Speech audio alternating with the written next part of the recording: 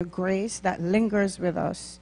We're here today, Lord, and we ask that you will allow your Holy Spirit to be with each one of us. First, God, uh, for you to fill our vessels, we ask, first of all, that you will empty us of all the things that are unlike you, so that you will be able to fill our vessels with the Holy Spirit. As we move forward into the other section of our worship service, we ask that you will remove self from us. We ask, Lord, that as we come to you as the clay before the potter, God, we ask that you will mold us, you will fashion us, remove from us all those impurities, so that at the end of this worship service, we can attest that it was good to be here and we have been with you. Enter into our hearts, I pray, and forgive us of our sins. Hasten the footsteps of those who are coming.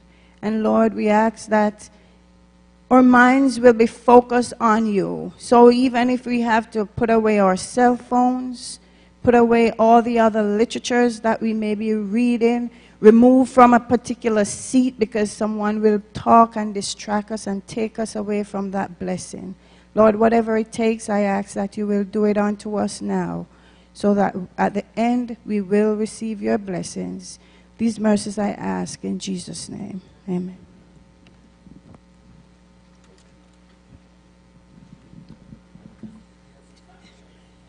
So uh, the privilege is given to me to, I know that we have many visitors in our midst, particularly this is, for most of us, it's uh, graduation weekend and uh, memorial weekend. So I will take this opportunity to uh, welcome our friends and our visitors.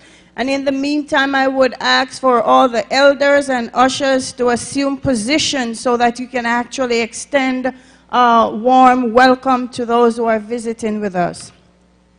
For our visitors, I hasten to let you know that we are at Conyers a growing bunch of God loving people, and we're always eager to welcome those who are visiting with us. So, visitors, I need for you to listen very carefully as I go down the list of maybe categories of those who will be visiting with us today. So while I call different categories, if you believe that you fit appropriately into one of these, I'm going to ask you to stand and remain standing. So my first category is you're visiting or spending time with family and friends. Please stand and remain standing. Members, I need for you to be busy now, moving around and extending a warm hand of welcome and fellowship. You're visiting with relatives and friends. Anyone here, you're here because you're doing business in town. That's in Conyers or Covington. Please stand. The next category, you have heard about our worship experience here at Conyers and you're very much curious in wanting to experience it for yourself, please stand.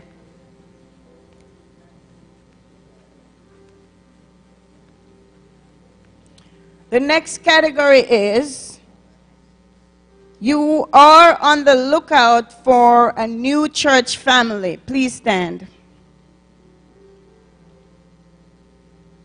I need us to mark this face right here. He's on the lookout for a new church family. Please stand and remain standing.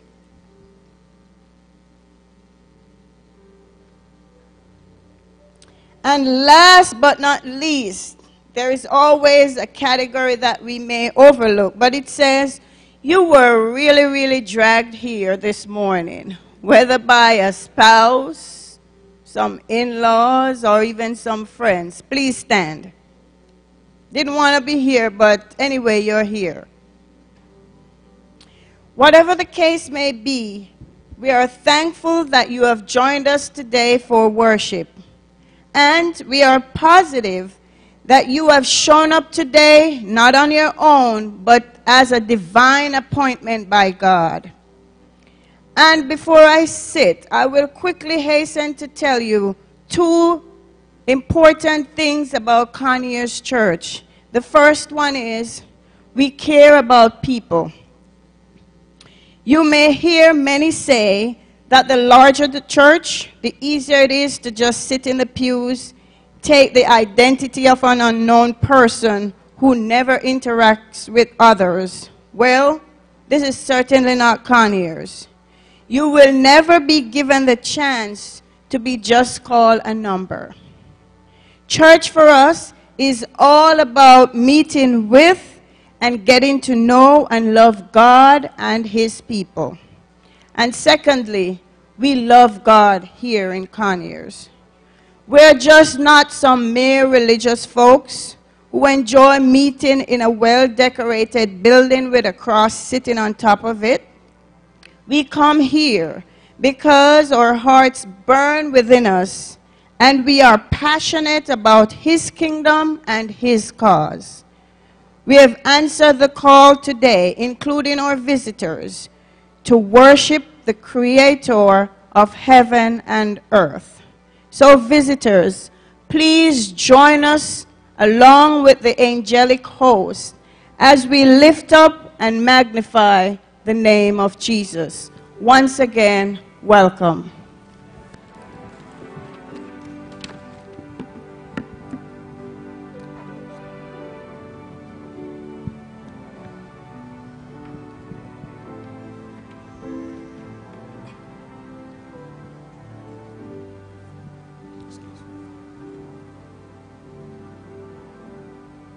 Good morning and happy Sabbath, church. Thank you, sir. Our God is good. And every day, our God is good. We're in the house of the Lord, and as we prepare our hearts for worship, we will sing, Lord, prepare me to be that sanctuary that is pure and holy, that has been tried by the fire and proven to be true.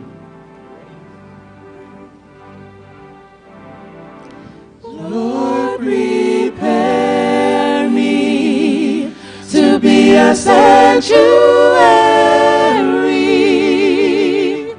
pure and holy, tried and true,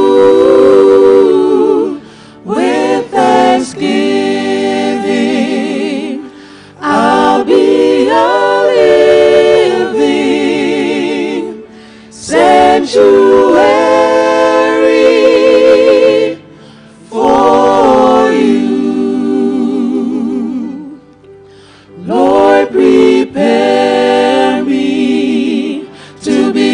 Sanctuary,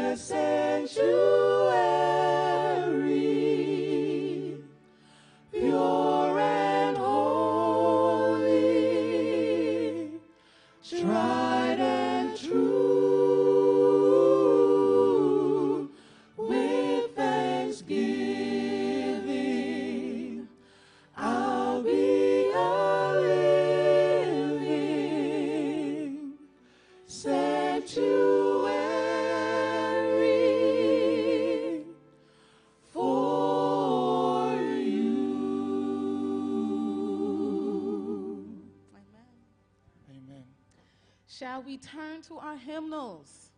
3435 to the glory song.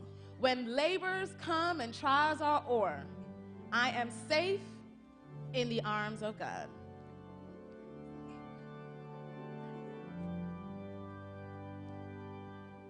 When all my peaceful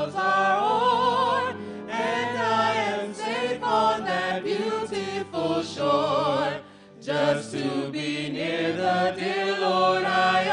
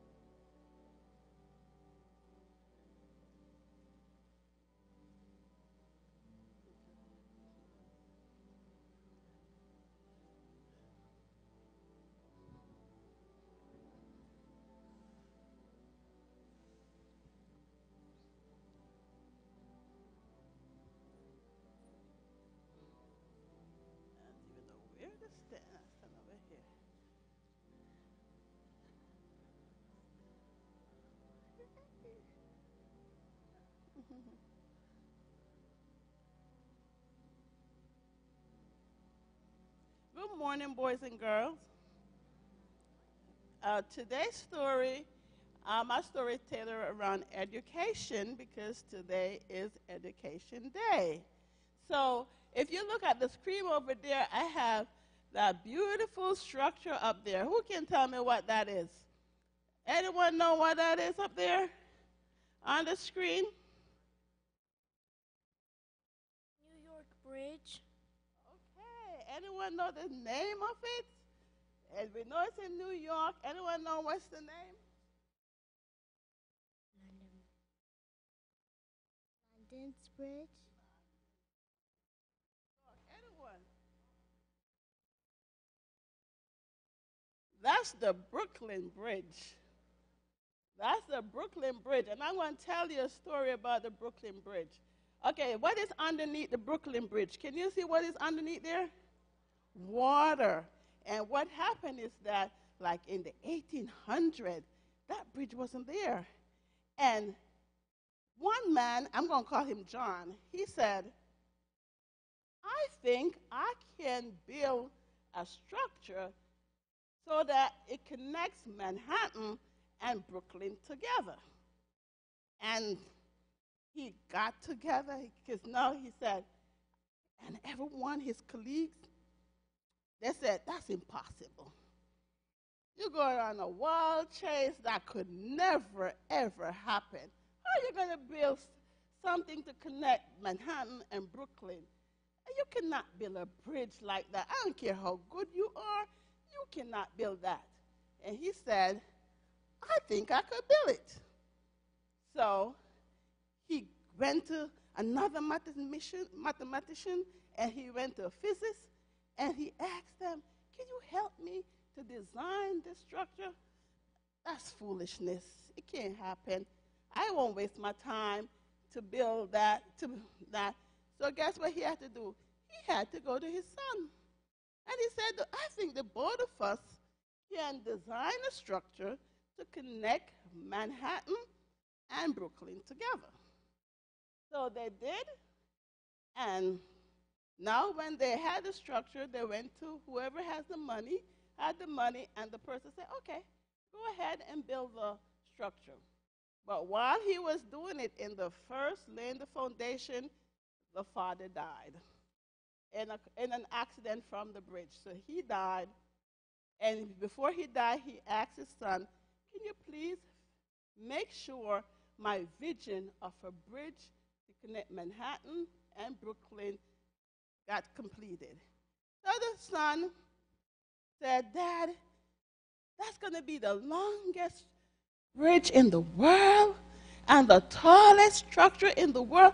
I don't think I could do that. That's too much work. That's too much for me. I'm just a little boy. I can't do that. I, you, you need other, another person to do that. He said, You could do it.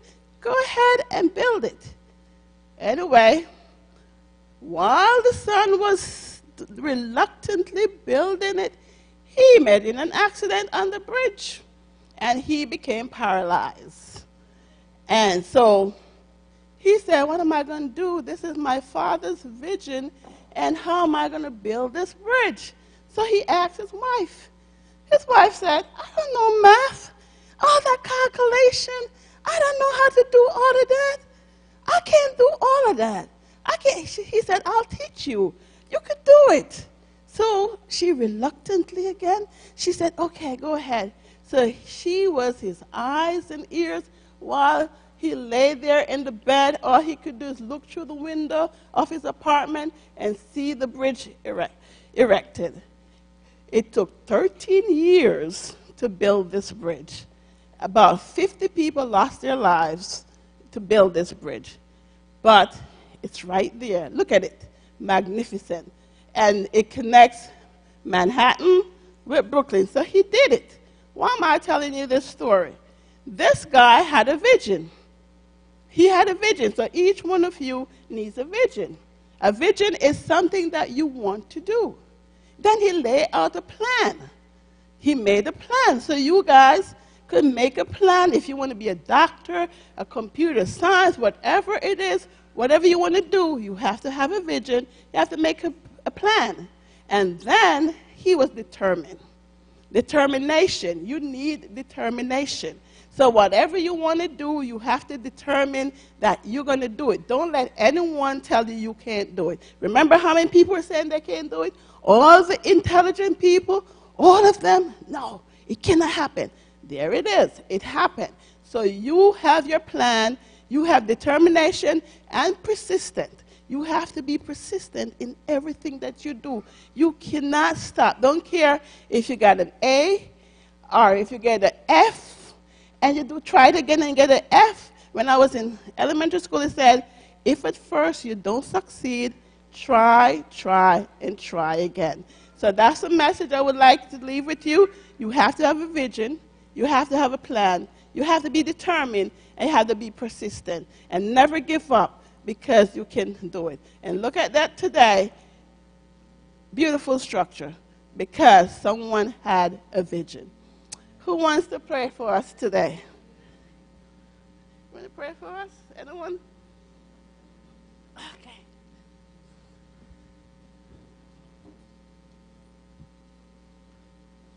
Close your eyes, bow your heads and close your eyes.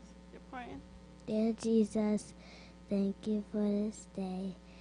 Thank you for people to be safe. Thank you for moms and dads. Thank you for thank you for Jesus. Thank you for Jesus to making us safe. Thank you for Jesus to help us be Amen. safe. Amen. You may go back to your seats.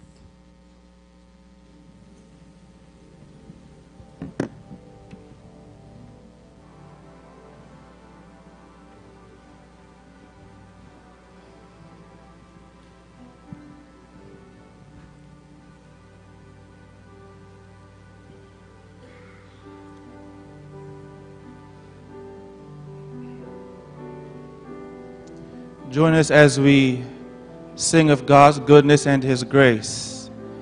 In this song that says, How great is our God. Has God been good to anyone this week? Amen.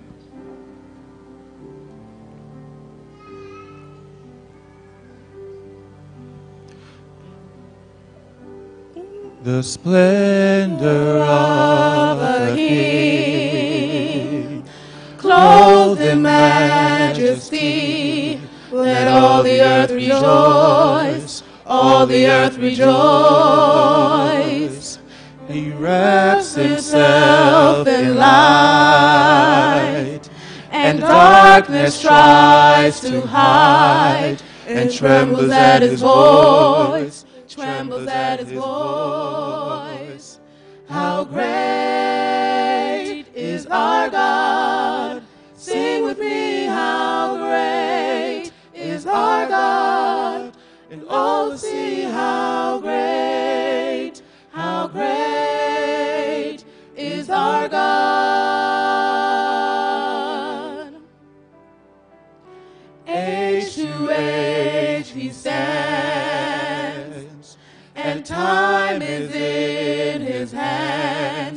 beginning and the end, beginning and the end.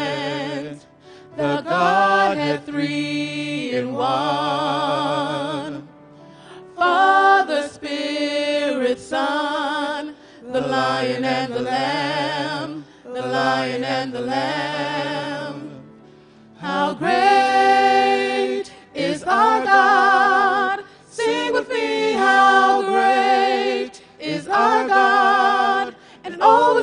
How great, how great is our God. How great is our God? Sing with me, how great is our God? And all will see how great, how great is our God.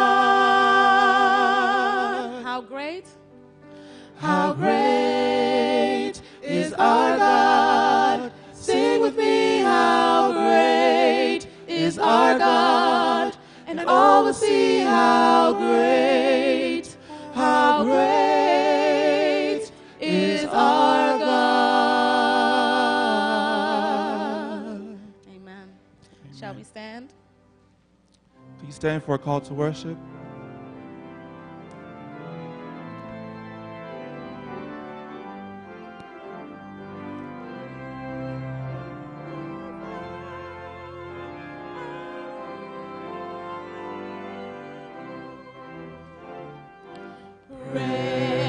God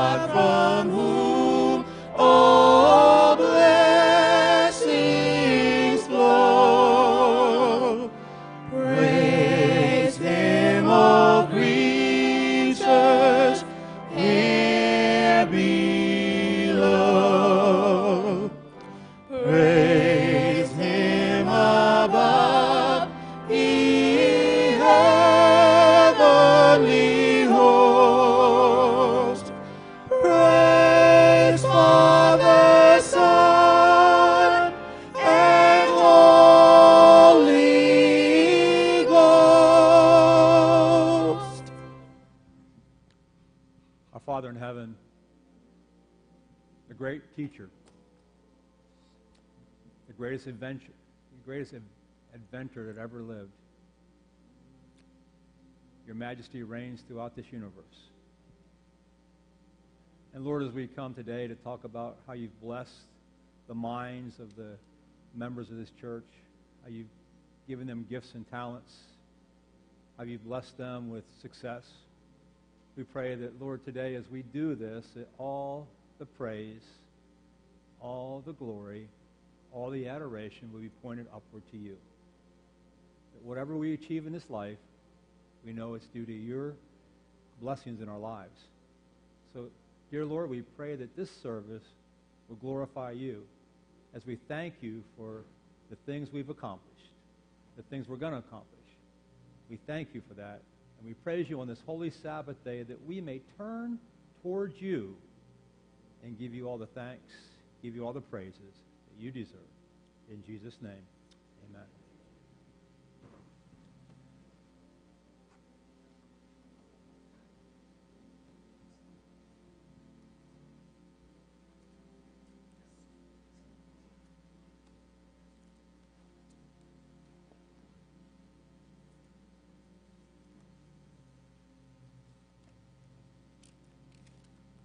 Good morning, church, and happy Sabbath.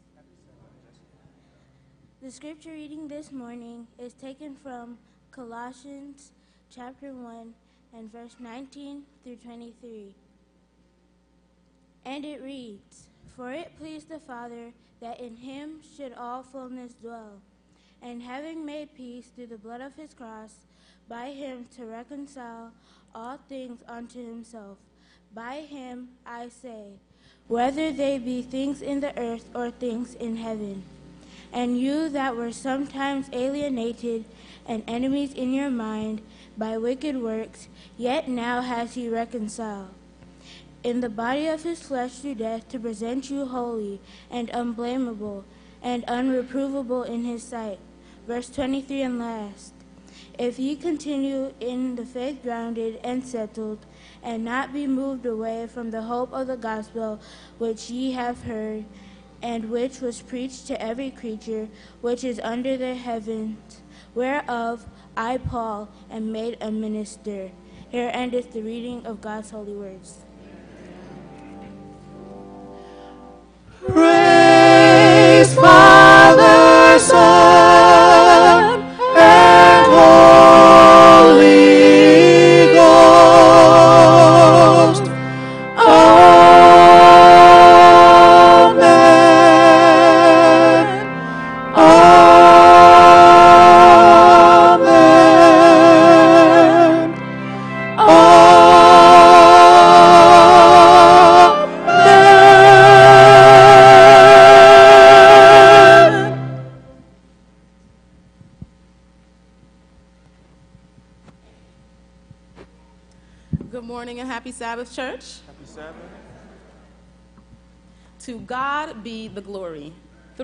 four,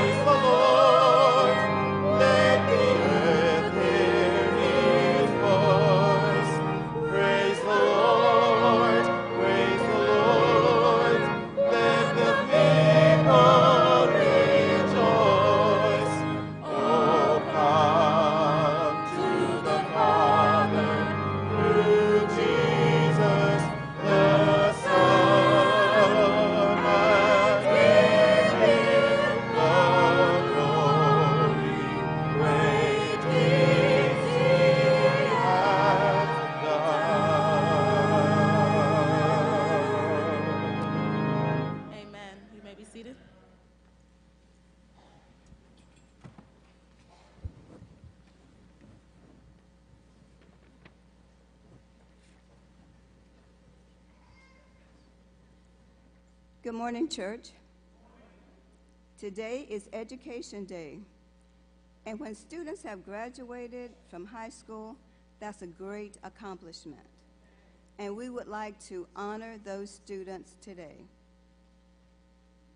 I present to you at this time our graduates of 2019.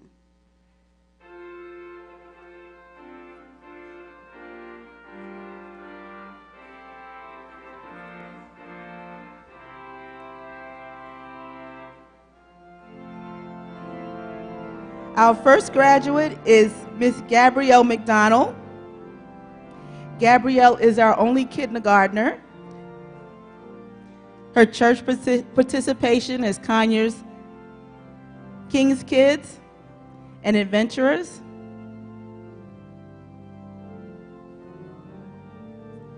Miss Gabrielle McDonald.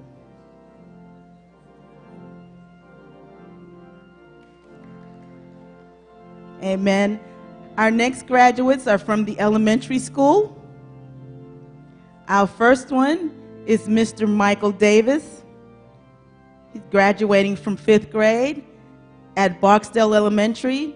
He's attending Davis Middle School in July. He's in the Children's King's Kids, the Children's Bell Choir. He's a Pathfinder friend. His favorite verse is Philippians 4:13. I can do all things through Christ which strengthen me. Michael Davis. Our next graduate is Miss Haley Trumbore. Miss Haley is graduating from fifth grade. Her favorite scripture is Psalms 139 and 18. She participates in the King's Kids. She's an usher at church, and she's also a Pathfinder. Miss Haley Trumbore.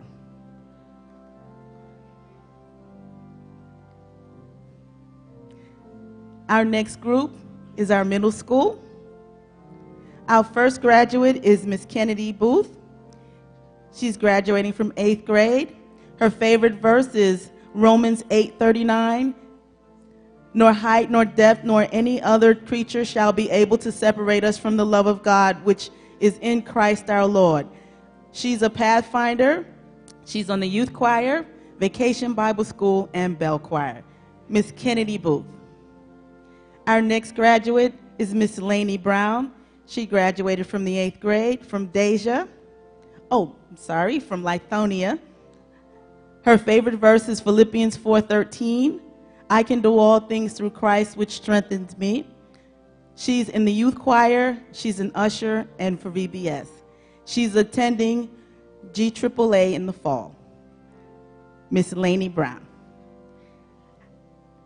Our next graduate is Tanika Chevalier. She has graduated from the eighth grade.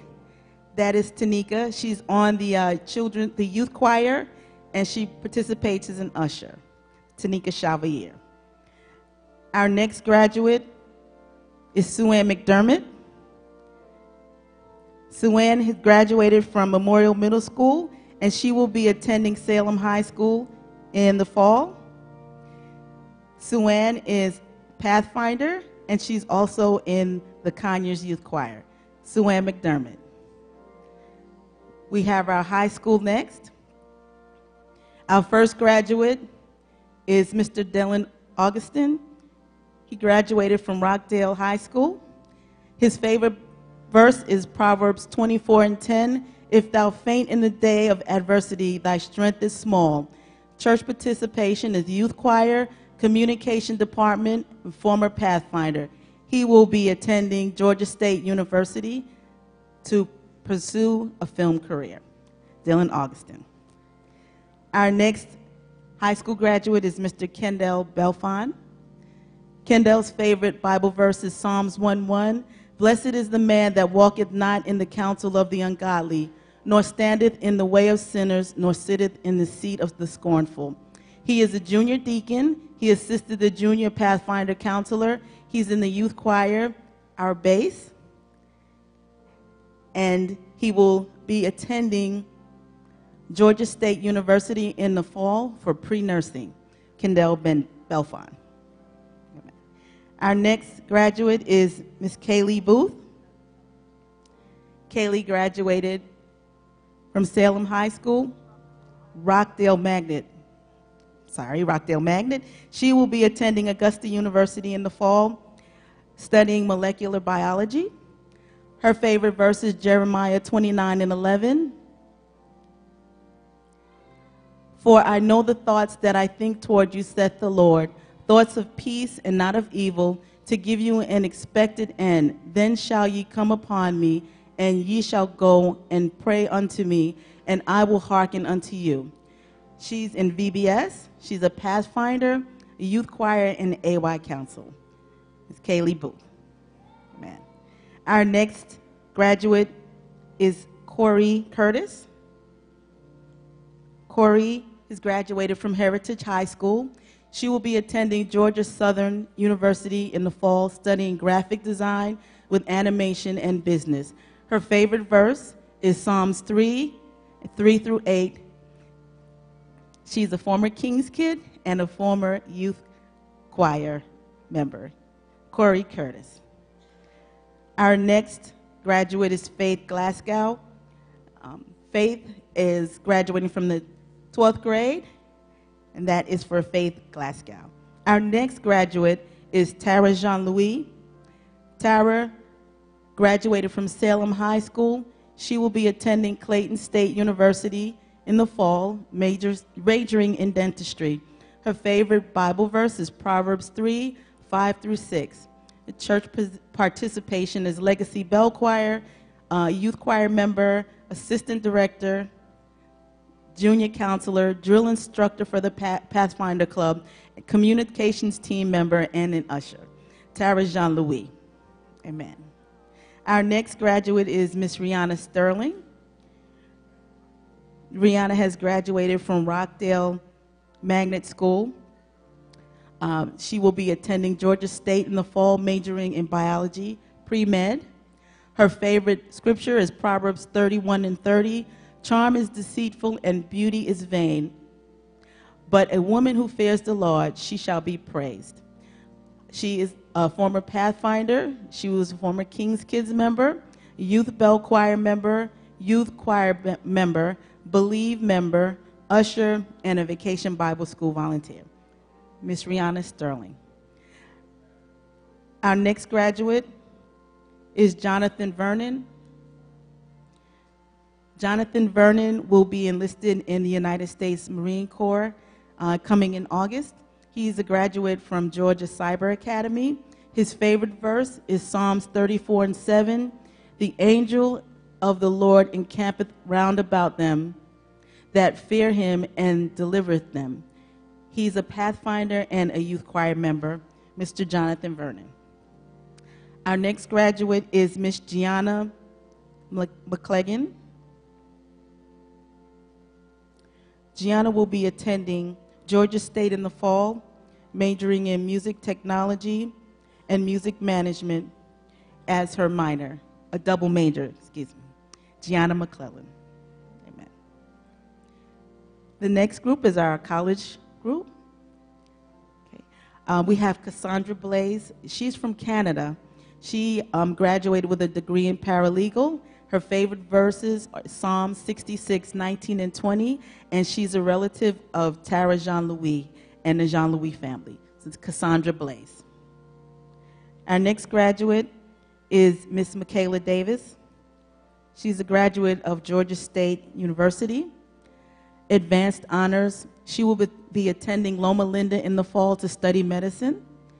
At Georgia State, she was a volunteer coordinator for the Panther Food Recovery Network, a member of the Minority Association of Pre-Health Students, a member of the American Medical Students Association, member of Impact, member of the Tri-Beta Biological Honor Society, a member of the National Society of Collegiate Scholars.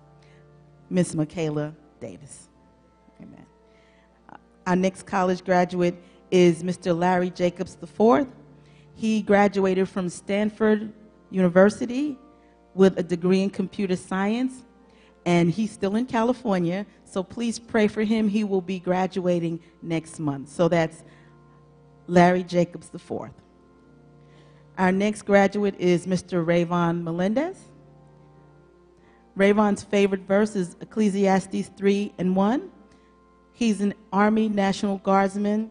He's a former Pathfinder, a deacon, a men's ministry leader, member, Mr. Rayvon Melendez. Rayvon will be teaching his majors in math, so kudos for all of our educators. Amen. Um, our graduate, our next graduate is Christoph Randall, graduated from Tuskegee University with a bachelor's degree in mechanical engineering and a minor in material science engineering. His favorite verse is Proverbs 3, 5, and 6. Christoph Randall.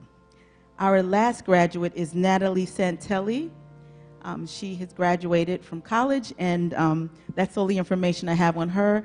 But Conyers Church, on behalf of Family Life and the Education Department, we'd like to um, introduce you to our 2019 class. Amen.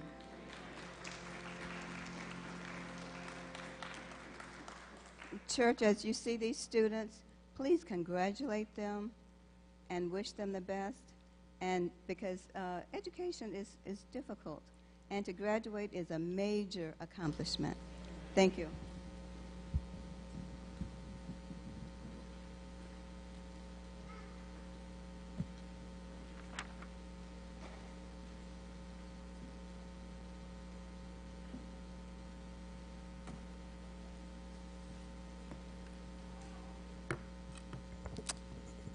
Well, I'm here to read the prayer requests, and I want to add one to these that I have here is to pray for the students, to pray for those of us who are graduating and those of us who um, are who have graduated or will be graduating later this year.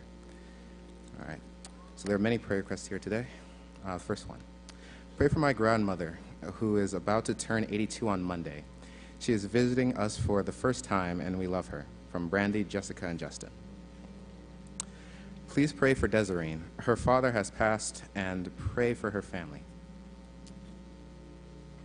Please pray for Sister Cook's father, who suffered a stroke. Please pray for our families and our children. Pray for my daughter, Shawnee, for, sa- for traveling mercies when she returns home. Pray for healing for Rachel, Everett, Charlene Wise, and Tanya Coleman. Please pray that my children and grandchildren will allow God to work in their lives. Pray also that um, my medical tests come out well. Praise the Lord for all his blessings. Thank God for another day. Please pray for my nephew who is having mental health issues. Also, pray for my health and my family. Please continue to pray for Sister Olivia's brother, Mark. Please pray for a family member who had to travel from St. Thomas in the U.S. Uh, in the U.S. Virgin Islands for emergency medical treatment.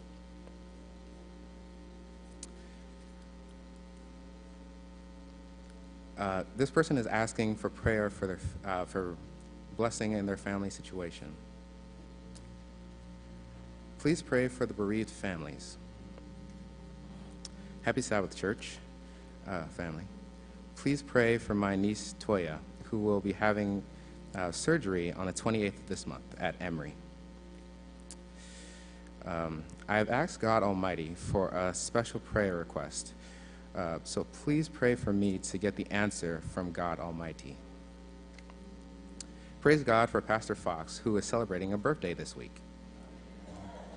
Hmm. Prayer for a job. Please pray for uh, my 94 year old mom, Patricia Giles. She is declining. She's in the declining. She's in the declining stages of um, dementia. Kay Gordon. Please pray for our families. Uh, please pray for our family, whose son tried to commit suicide. There are many requests that we all have, whether they're spoken or unspoken. i I have unspoken prayer requests, and I imagine you do as well. Um, there are some. Could you have a show of hands of unspoken prayer requests? All right. Um, as you can see today, there is the bell choir set up, um, so there's not a lot of space, but if you would still like to, you can come and kneel here, come and draw close unto God. sitting at his feet,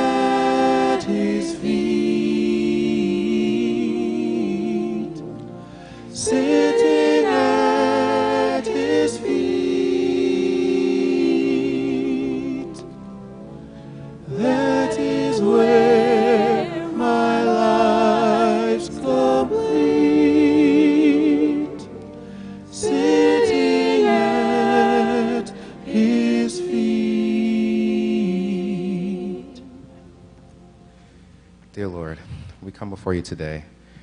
We ask that you would, first of all, forgive us of our sins, that we may be heard by you, Lord.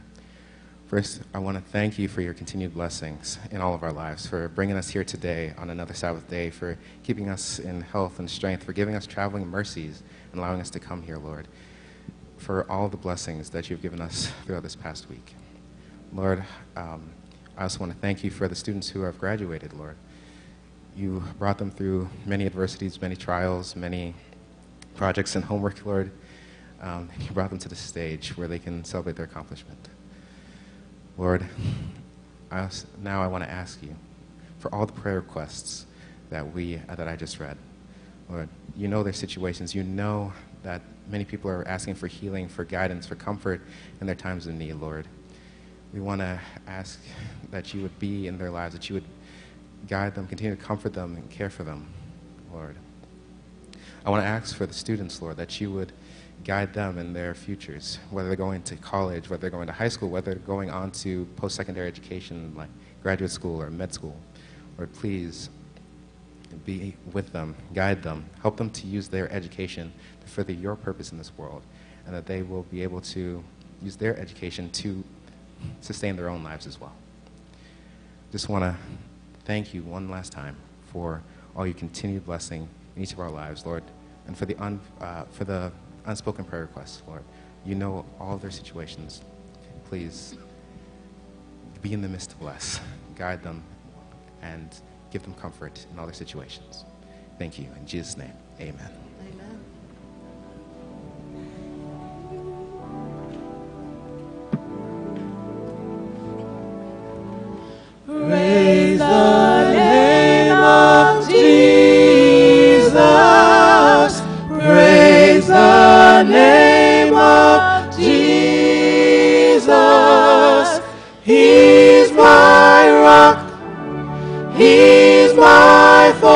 Fortress. He's my deliverer. In him shall I trust. Praise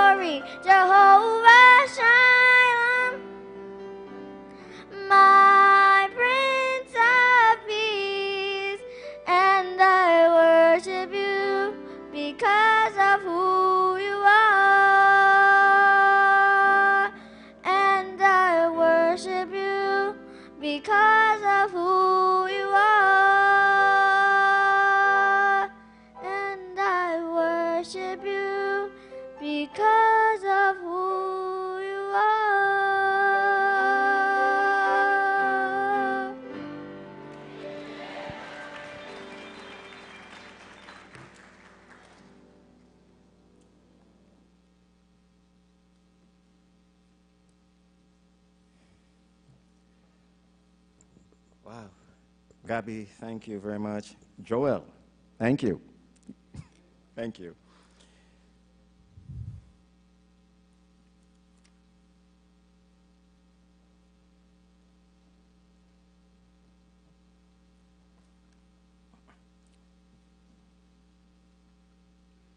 I remembered when I was here just listening to this song, I remembered a situation where Jesus sent out his disciples two by two to go and preach and teach. And when they came back, they were there, you know, I don't want to say bragging, but they're very happy. They're, they're elated and they were telling, uh, Master, we, we cast out demons in your name and we did this and we did that. And the reception, the people, they accepted us. It was great. It was a great feeling. And Jesus Christ, of course, gave them kudos. But then he said one thing All that you have done, all the things that you've accomplished in my name, but just pray that your name is written in the Lamb's book of life. I remember when I was the first time I saw someone with, with a gown on and that, this big thing at the back. When I was much, much younger, I said, one day I want to wear one of those gowns, one of those things. And I know that young people, they're looking on. I know one day you too want to wear one of these, but it does not come so easy. You have, you are, uh, the graduates, I've, I've listened to your, your biography, just so many great things, so many accomplishments. But there's one thing I want to say, though that all that you've accomplished, remember Jesus Christ at all times. Just make sure that your name is written in the Lamb's book of life. According to Proverbs 6, it says, Train up a child in the way he should go, and when he is old, he will not depart from it. And this includes teaching our children how to return a faithful tithe and offering. Uh, today, the offering that we'll be collecting today is for the Georgia Cumberland Ministries. And I'm going to ask you that you will continue to be faithful and true to Jesus Christ when it comes down to your tithe and offering. At this time, let us pray.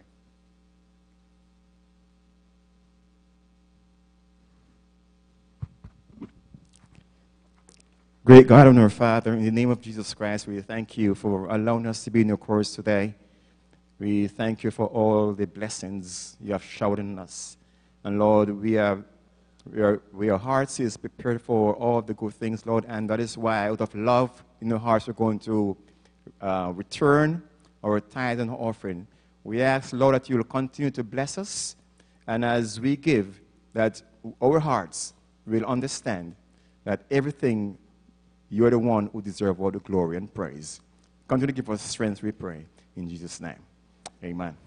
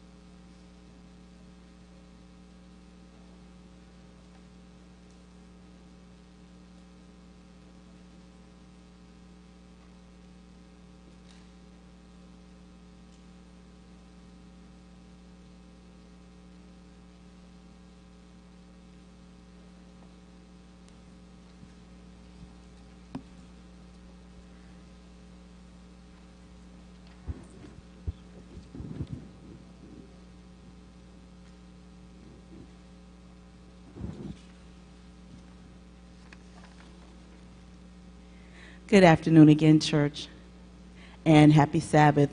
Again, welcome to our Education Day.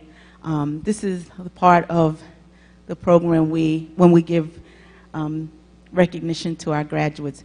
And I also want to know, are there any graduates here um, that graduated that did not participate in our program today? If you could just stand if you're here. Okay.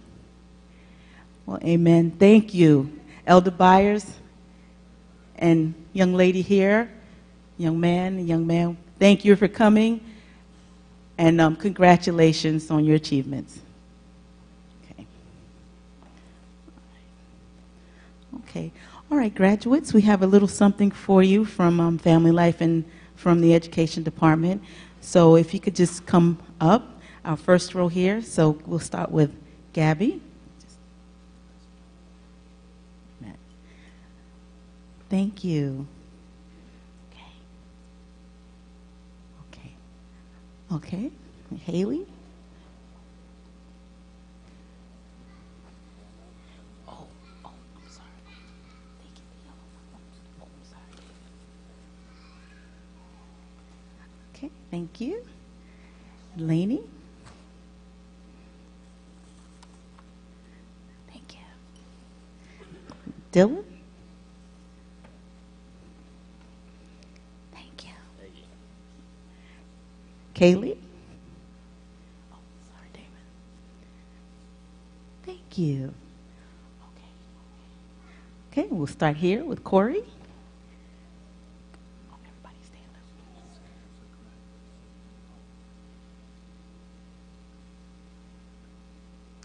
Thank you, Corey. K- Kendall.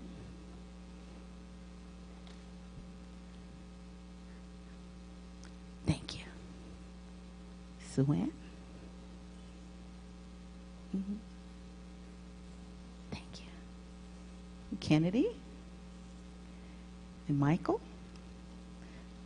Okay. Thank you. Okay. Second here.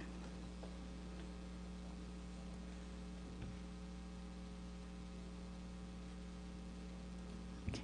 Jonathan. Thank you. Michaela. Okay. And our last row is Stephanie. Thank you. Congratulations. Thank you. Okay. Denise. Thank you. Rihanna. Crystal. Thank you. Okay. Um, do we have our GED teachers? Oh, and Tara. Would you all please come up?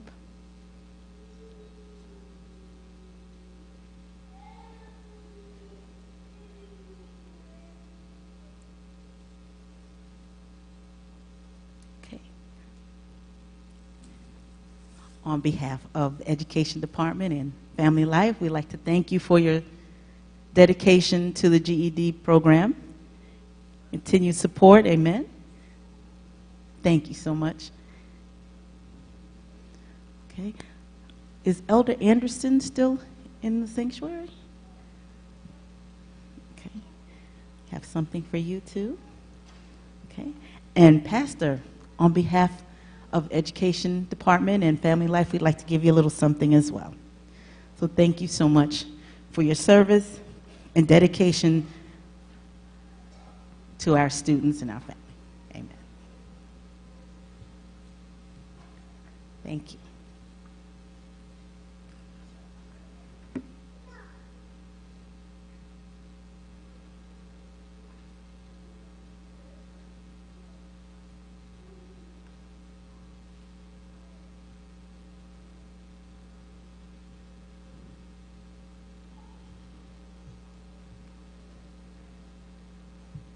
Good morning and happy Sabbath.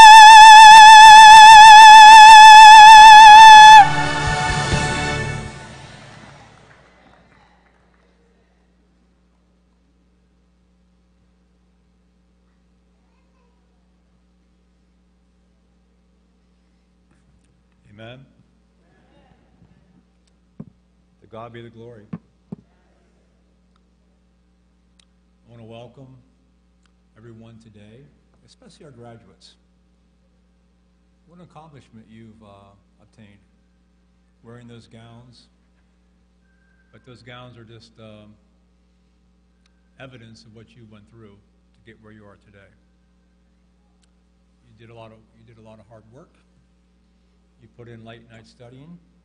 I hope you did. You, I hope it learned, it taught you how to pray better and harder before tests. And uh, your, your learning will continue, whether you're getting graduated from kindergarten or whether you have your PhD. It doesn't matter. You're going to learn your whole life. And we're here today to talk about learning that can transform your life. Learning can transform your life. Education is very important. Um, I, I, I see people that are educated that are void in their knowledge of uh, the things of the world. And I see people that are, the world would consider uneducated, who are the most profound people I ever met. I know a story about a young man, his dad was a rice farmer in the Philippines, and he, his dad was sending his son to school by raising rice and selling the, the livestock, and anything he could do to have his son go to university because he wanted his son to have a better life. I bet there's some witnessing in this auditorium today about parents who have sacrificed to get you where you're at. And we, and we thank you for your sacrificed parents. But as, as he did this, one day his dad came to the university driving an ox cart because that's all he could afford to drive because he had sold everything else so his son could go to university. And when he got there, his son saw him driving down the main road of the campus in his ox cart. He ran and hid so nobody would know his parent was a farmer, a poor farmer. And it crushed his dad. So as you're sitting here today, I want you to, I want you to reflect in your minds that you didn't get here by yourself. Those parents that made you do your homework, brothers and sisters that pushed you along, teachers that guided you and challenged you, um, also the God, the God above who blessed you with the mind and intelligence to accomplish what you've accomplished so far. But you're not done yet. And let's pray as we open God's Word.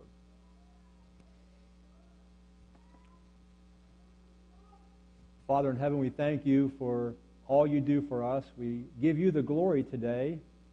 We thank you for showing your power in the lives of these individuals before us today. Thank you for the parents.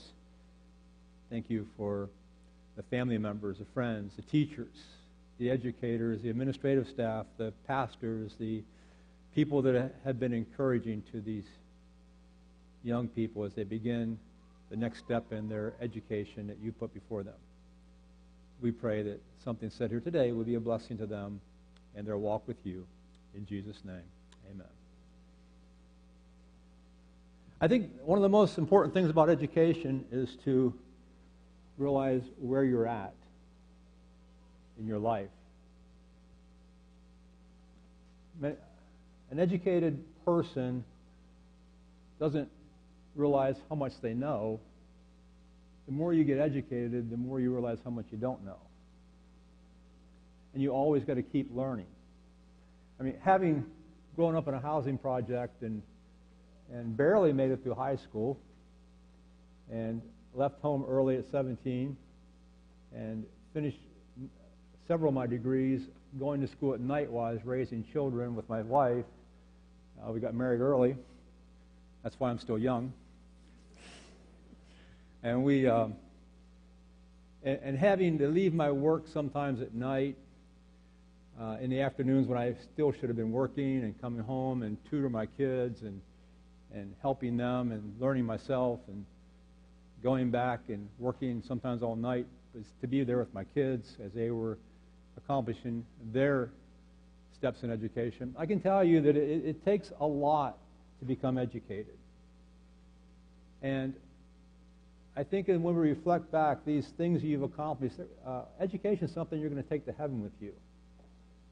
So you have to make sure you're getting the right type of education. Amen? You, know, you want to know that, you want to remember that God has given you gifts and talents, and sometimes I think that we, we forget where our success is really coming from. We, we, we look and we think that, you know what, look what I have accomplished. And you have.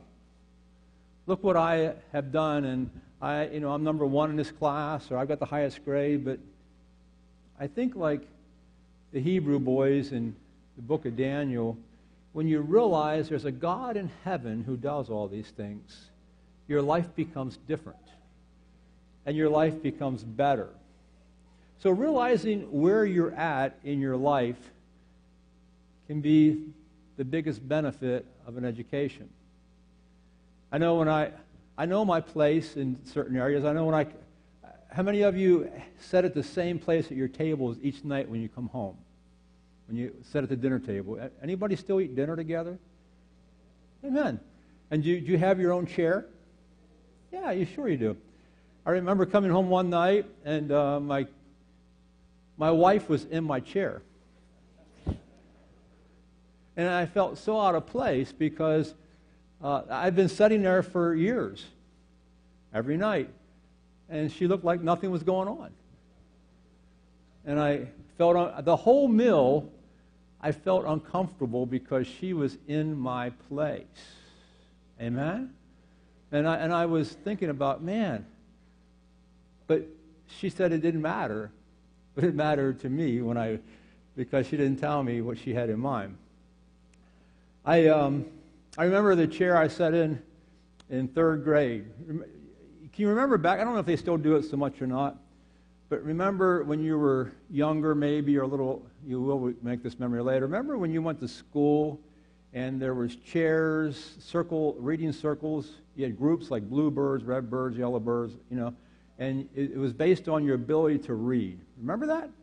Yes or no? Because, you know, the bluebirds were maybe the kids I remember that could read extremely well. Uh, they were way beyond the other first, second graders. And then the redbirds, they were, they were at average on par with, every, with, with where they should have been. Then there were the Cardinals. And the Cardinals were a little slower.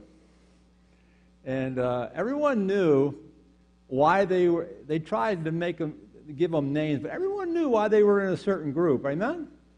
They knew they belonged there because they were, they were with the group they belonged in at that time. I remember these chairs. I remember a little later in school, you know, when the, the, teacher had his chair she had in the hallway. And it was for, it was for kids that couldn't behave themselves enough to be in the classroom. I know many people here remember that chair. and uh, just a rumor that I don't remember it that vividly, but I, you know, if you would do something like, if you would pour water on Angie Scott's head when she walked out the recess, and you dipped water in a cup from the aquarium in the classroom and poured it down on her from the window and got her soaking wet, you could end up in a chair, hypothetically. Um, if you if you if you push somebody on the playground, if you if you put gum in somebody's pigtails that's set in front of you, you could you could wrongly or rightly be convicted and have to be in that chair. Are you with me, yes or no? So that was a chair that, that you belonged in until you could get back into your regular chair. And I remember other chairs, you know, when you play sports. Uh, the football team, all the offensive guys sit together, the defensive guys sit together, and the best players were sitting near the coach. The quarterback was always beside the coach when the defense was on. And then the guys that hardly ever played or never played, they were way at the end of the bench. Their place was down there because they hardly ever got their name called but they had a place anyway. Today, I want to talk to you about three conditions or three chairs that you, as graduates, are going to uh, be in. Hopefully, one of the chairs in your life. Chair number one is a chair of commitment. I actually brought some school chairs up here. Wooden chairs, so that I figured the, the school chairs, with us having a new school, would be appropriate. Amen? So, so sometime in your life, you're going to set in the chair of commitment. And if you're not careful, sometime in your life, you're going to set in a chair of compromise. What is it? Compromise. And if you're not careful about that, sometime in your life, you're going to set in a chair of conflict. And this all relates to your education, and your walk with God. I, I know that many people think that as they grow, they're automatically are going to get closer to God, but it's not true. Just like you study for tests, if you want to remain close to God, you have to do things to do that. Are you with me? So we have commitment, we have compromise, we have conflict. And today, graduates, I want to ask you, parents, I want to ask you, church members, I want to ask you, which chair by the end of this sermon do you see yourself in? And should you remain there in that chair? Because if you look at the Word of God, most Americans that go to church are not in the chair of commitment.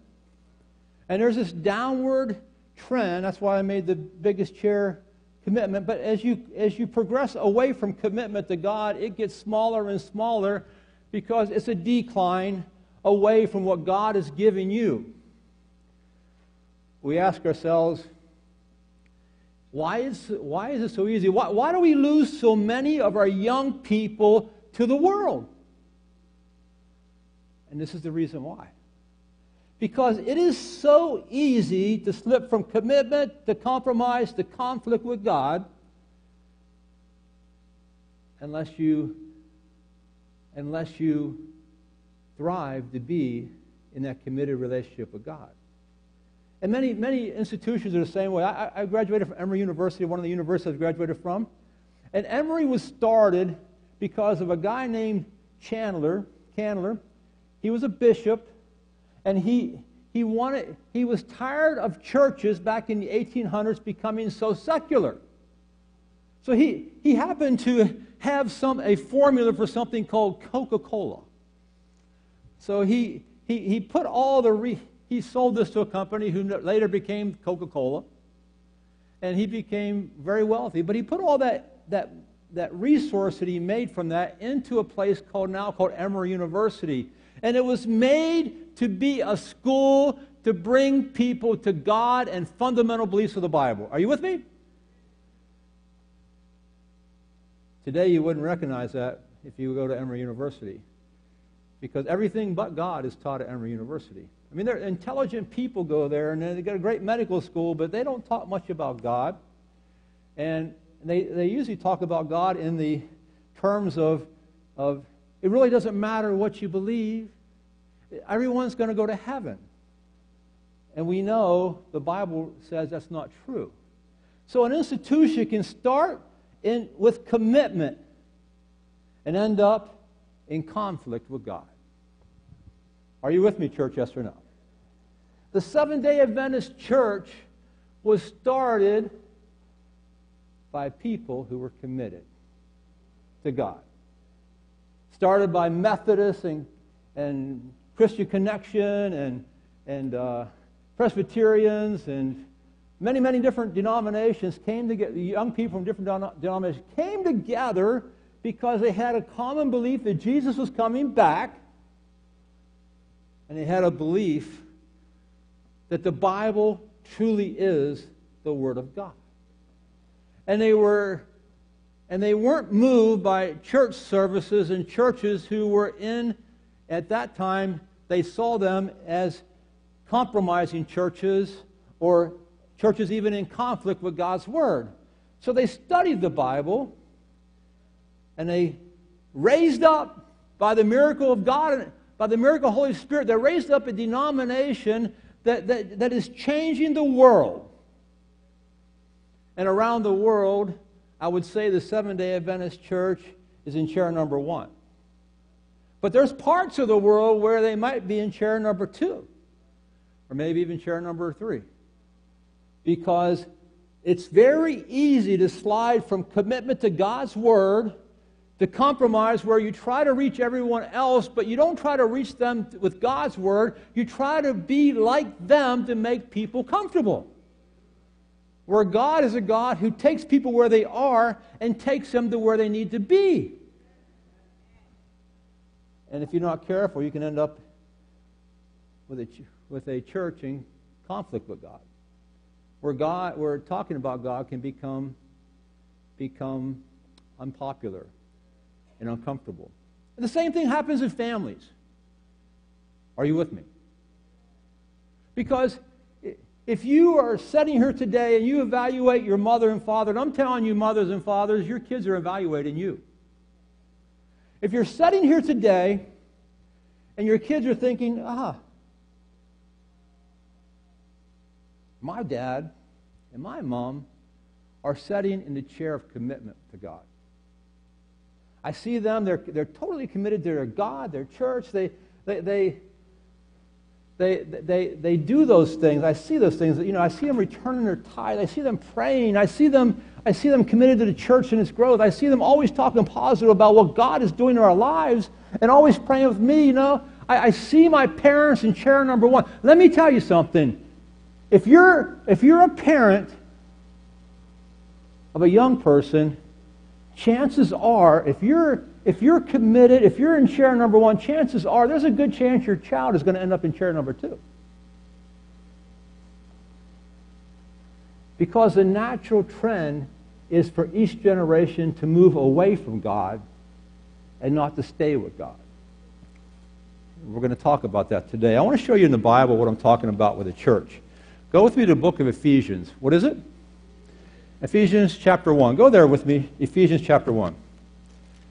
And we want to find out the truth so we can change our future. How about it? Amen? Do you want to change the future to where God, what God wants done and not what Satan's trying to do to your family? Do you want that, yes or no? Do you?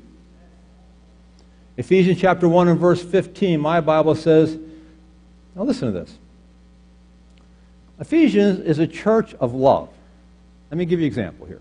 Ephesians chapter 1 verse 15. For this are you there? For this reason, ever since I heard about your faith in the Lord Jesus and your love for all saints. Your what? Your love for all saints. Now, now Paul goes through Ephesians talking about their love 19 times in six chapters, but you know, just gives examples here. Ephesians 1 4. According, according as he has chosen us in him before the foundation of the world, that we should be holy without blame before him in what? Love. Okay, a church of love. Are you with me, yes or no? Verse 15, Ephesians 1 15. We just read it, okay? And verse Ephesians chapter 2, verse 4. Chapter 2, verse 4. But God, who is richly in his rich mercy for his great love, his great what? Wherewith he loved us, even when we were dead in, in sins, has quickened us together with Christ. By the grace, by grace you are saved. Verse chapter 3, verse 17, that Christ may dwell in your hearts by faith, that you being rooted and grounded in what? Love. Verse 18 in chapter 3, may, may be able to comprehend with all the saints what is the breadth and height and uh, length and height, or, and depth and height, and to know the what? The love of Christ which passeth knowledge, that ye might going on chapter 4, verse 2, with all the lowliness and meekness and long suffering, forbearing one another in love. Chapter 4, but speaking the truth in what? Love. Going on. Verse 16 in chapter 4, okay, from whom the whole body fitly joined together and compacted that, that by, by that which every joint supplieth according to the effectual work working in the measure of every part and maketh increase the body unto the edifying of itself in what? All the body works together, God's church works together, amen? But we do it because we have the love of God. We can work together. We can be a living organism for God. Chapter 5, verse 2 and, and walk in love as Christ also loved us and has himself and given himself as an offering, a sacrifice to God for a sweet smelling savor. Chapter 5, verse 25. Husbands, love your who? Wives, as Christ loved the church. Chapter 5, verse 28. So ought men to love their what? Their wives. As their own bodies. He that loveth his wife loveth himself. Verse 33 in chapter 5. Nevertheless, let every one of you in particular so love his wife even as himself, and the wife see that she reverence her husband. Chapter 6, verse 23 Peace to the, be to the brethren and love with faith from God the Father, the Lord Jesus Christ. Verse 24 Grace be with you, grace be with all them that love their, our Lord Jesus Christ in sincerity. Now, watch. This is a church of love. Amen? A church of love, filled with love. Go with me to Revelation. Let's see how this church is progressing as time goes by several years later. Let's go to Revelation in chapter 2. Chapter 2 of the book of Revelation. Is that in the back of the Bible or the front? Okay, good. Back of the Bible, all the way to the back, right? Yeah, back of the Bible. You, since you, have, you may not have been there for a while. Revelation chapter 2 and verse 1. Okay. Now we have a church that used to be known as a church of love by Paul. Now, we, now we're in Revelation, and God is looking at these seven churches, and let's see what he says. Revelation chapter 2, verse 1. Unto the angel of the church of Ephesus, the same church, Write these things which he withholdeth the seven stars in his right hand, and who walketh in the midst of the seven golden candlesticks. I know thy works, thy labors, and thy patience, and how thou castest, thou canst not bear them that are evil, and thou hast tried them which say they are apostles and are not, and hast found them liars, and has borne and has patience, and for my name's sake has labored and has not fainted. Nevertheless, I have somewhat against thee. What, what is it that he has against this church? Because thou hast done what? The church of love has left its first love. So the church that was in chair number one has moved to chair number two. Are you with me, church? Yes or no?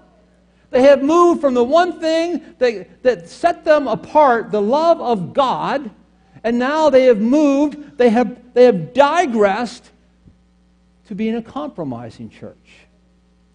What happened? What happens to a church that's in that position in chair number two? They begin to have a false sense of security. They begin to look at themselves like they're more than what they are. They begin to think it's all about them and not about God. They begin to have programs that point to themselves and not to God. Are you with me, church? Yes or no? They, they become they become calloused to how they treat God. Because it's all about their success, it's all about what they can do, and they begin to look inward instead of upward. And we have a famous church that's in compromise. We know what it is. The Church of Laodicea in, in, chapter, in chapter 3, verse 14.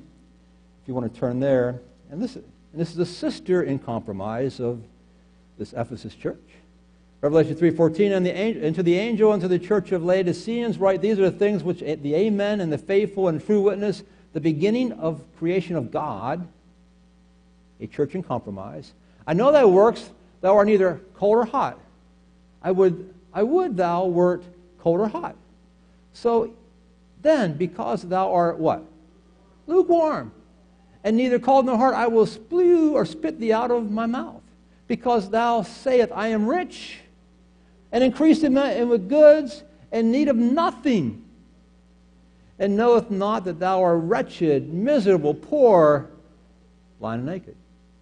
You see, when a church sets in a, in a position of commitment, they know God is everything to them. They know that everything they do and accomplish in life is because their Creator has blessed them, and endowed them. Amen? But when a church moves away from that, they become self aware and not God aware. And they become different. They go from being spiritual alive to being spiritual anemic. They go from being convictional to being compromising. Well, it really matter that much what we do on Sabbath? They, they, go to, they go from being on fire, their bones are hot for God, to being AWOL from God. And you'll know that word if you joined the Marine Corps recently, pretty soon. They live for today. When, when, you're, when you're a church that's, in, that's committed to God, you live for what God is doing in your life today. And when you're a church that's in compromise to God, then you talk about what you did before because you're not doing nothing today for God. So you're always talking about back then. I'm telling you, what Christianity is dynamic. It's moving forward, so you're always looking forward because it, what you did back there is in the past, but what you're going to do now and tomorrow is where God is taking you. So your perspective is different. In, in chair number one, you're committed. You're hot for Jesus. In chair number two, you're lukewarm. In chair number three, you're empty. You're empty inside. You're not even sure that you even want to know God. And I've known people that went from here to there within a matter of a year. I've known ministers that were on fire for God. and now are just on fire because of their anger. Their fire is against God. So, my question today in the Conyers Seventh day Adventist Church is where are we at today as a church? Most churches were born here but end up somewhere else. But I, I say we ought to be in chair number one. We ought to be, because chair number one, we're, we're committed to evangelism. If a, if a church is in, if a church is committed to God, then, then they know God's heart is to reach the world. Amen? Whether it's through meetings, whether it's through Bible studies, whether it's because you sacrifice your, your resources, your time, your efforts, and you start a school, and you go up against you go up against a county that says no, and you keep going up and going up and going up till they finally say okay, because you are committed to reaching people for God, especially children. Amen. That's why Education Day this year takes on a different perspective for us because we're moving forward in a new dimension for God this year. Because we're committed to do what God wants us to do. You know, and, and in, fa- in families, I, I, see it in the Bible. I just didn't make that up about if your dad's in chair number one, you're probably going to be in chair number two. And, this, and graduates, listen to this. You don't want to end up in chair number two. I see it in families. David had a son named Solomon. And, he had, and, so, and then he had a grandson named Rehoboam, who became, they both became kings. David was committed to God. Remember Psalms 42, David says, as a, as a, as a deer panteth for the water brook, so my heart panteth after thee, my God. Amen? David's heart was toward God. He thirsted for God. He made mistakes. Oh, yeah. We, we, can, we can count them all. But David's heart, lo- in his heart, he loved God supremely. Amen? And when he did something wrong, he was correctable. He didn't try to hide it. Oh, he did. But then when, he, when it came out, he admitted to it and he asked God to forgive him and he became, in a way, even closer to God. He paid for his mistakes. David sat in a chair of commitment. David knew God. David walked with God. David talked with God. Last week we heard about David and Goliath. God even raised, raised up a young boy that could defeat a giant. David, David life reminds me of somebody we just baptized. When you first come into the church, you know, when you, when you study the Bible, you know that God can do anything. Amen? Young people, when you go to Sabbath school and you're studying in the when you're studying in Sabbath school and you learn those stories in the Old Testament and some of the and then in the New Testament about the, the Apostle Paul and how he was how he was fearless for God and shipwrecked and bit by snakes and all those crazy things and he's and singing in prison. And you say, I want to be like that. When I grow up, I want to be a missionary. I want to do something that matters that'll go to heaven with me. And then and you, I remember when I first came into the church, I, I was a brand, you know, I, I didn't go to church as a kid. And I had to buy those tabs I put on the side of my Bible because I couldn't find the books. And I remember they'd say, okay, we're, the pastor would be up front. Turn to the book of Jeremiah. I, I, I didn't know where Jeremiah was, but I knew he was in there somewhere. And I'd be looking in the front, and, you know, that I'd get there about the time they were leaving there. But I know when I got there, God was going to share something with me. Amen? I was on fire. I, might have not known everything that I, that I needed to know, but I knew enough about God to know that His Word, in His Word, is treasure. And He had a word for me. And David was a man after God's own heart, and he sat in a chair of commitment to God. Then he had a boy named Solomon. The high hopes of this guy the why, a man of wisdom. Solomon did not sit here. Solomon sat in compromise. Let me, young people, I want you to count the personal pronouns in these verses I'm going to read to you. I'm, in, I'm turning to Ecclesiastes. And let's see what Solomon says about who's important to him. Are you with me? count the personal pronouns as I go through them right here real quick. Okay? Ecclesiastes. Let's go to chapter 2, verse 1. Let's see where Solomon's heart was. See, when you go to when you go to compromise, you start looking at yourself like you're everything. So let's see where, where Solomon's attitude was really pointed toward. Are you with me? Yes or no? So count these in your head, or you can put your fingers up. You may run out of fingers and toes, but let's look at this. In just a few chapters here, okay, Ecclesiastes chapter 2, verse 1. And I said, I said in mine heart. How many personal pronouns? That's two, right? I am mine. Okay, my heart. I won't. Go to now. I will, provi- I will prove thee with, my, with, mirth. Therefore, enjoy pleasure, and behold, this, this is also vanity. I said of laughter, it is mad, and of mirth. What, is, what do with it? I sought in mine, mine heart to give myself uh, unto wine, yet acquainting my heart, my own mine heart, with wisdom, and to lay hold of the on folly till I might see what is good for the sons of men, which they should do under the heaven and all the days of their life.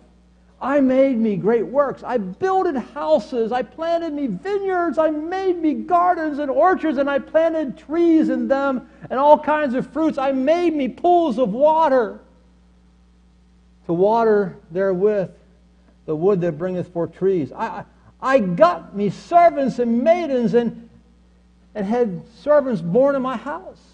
And I also had great possessions and of great and small cattle above all that were in Jerusalem before me. I gathered me all the, also silver and gold and particular treasure of kings of, of, of, of provinces, of the province. I got me men, singers and women singers, and delights of the sons of men as musical instruments, and that of all sorts. So I was great. It increased more than all that were before me in Jerusalem. Also, my wisdom remained with me. And whatsoever my eyes desired, I kept not from them. I withheld not my heart from any joy, for my heart rejoiced in my labor, and this was my portion of all my labor. Then I looked on all the works that my hands had wrought, and all and on the labor that I had labored to do, and behold, all was vanity vexation of spirit. There was no profit under the sun. How many personal pronouns? Anybody count them? Yeah, I counted 46 in just 11 verses. I, I, I. You see, when you when you when you when you're committed to God, you put God first. And then, and then, if you're not careful, the world will tell you it's you that's doing these things. And before you know it, you're worshiping yourself, you're giving yourself everything. And you're not giving God anything. When you're committed to God, your priority is to worship God. When you're compromising, your priority is to feel good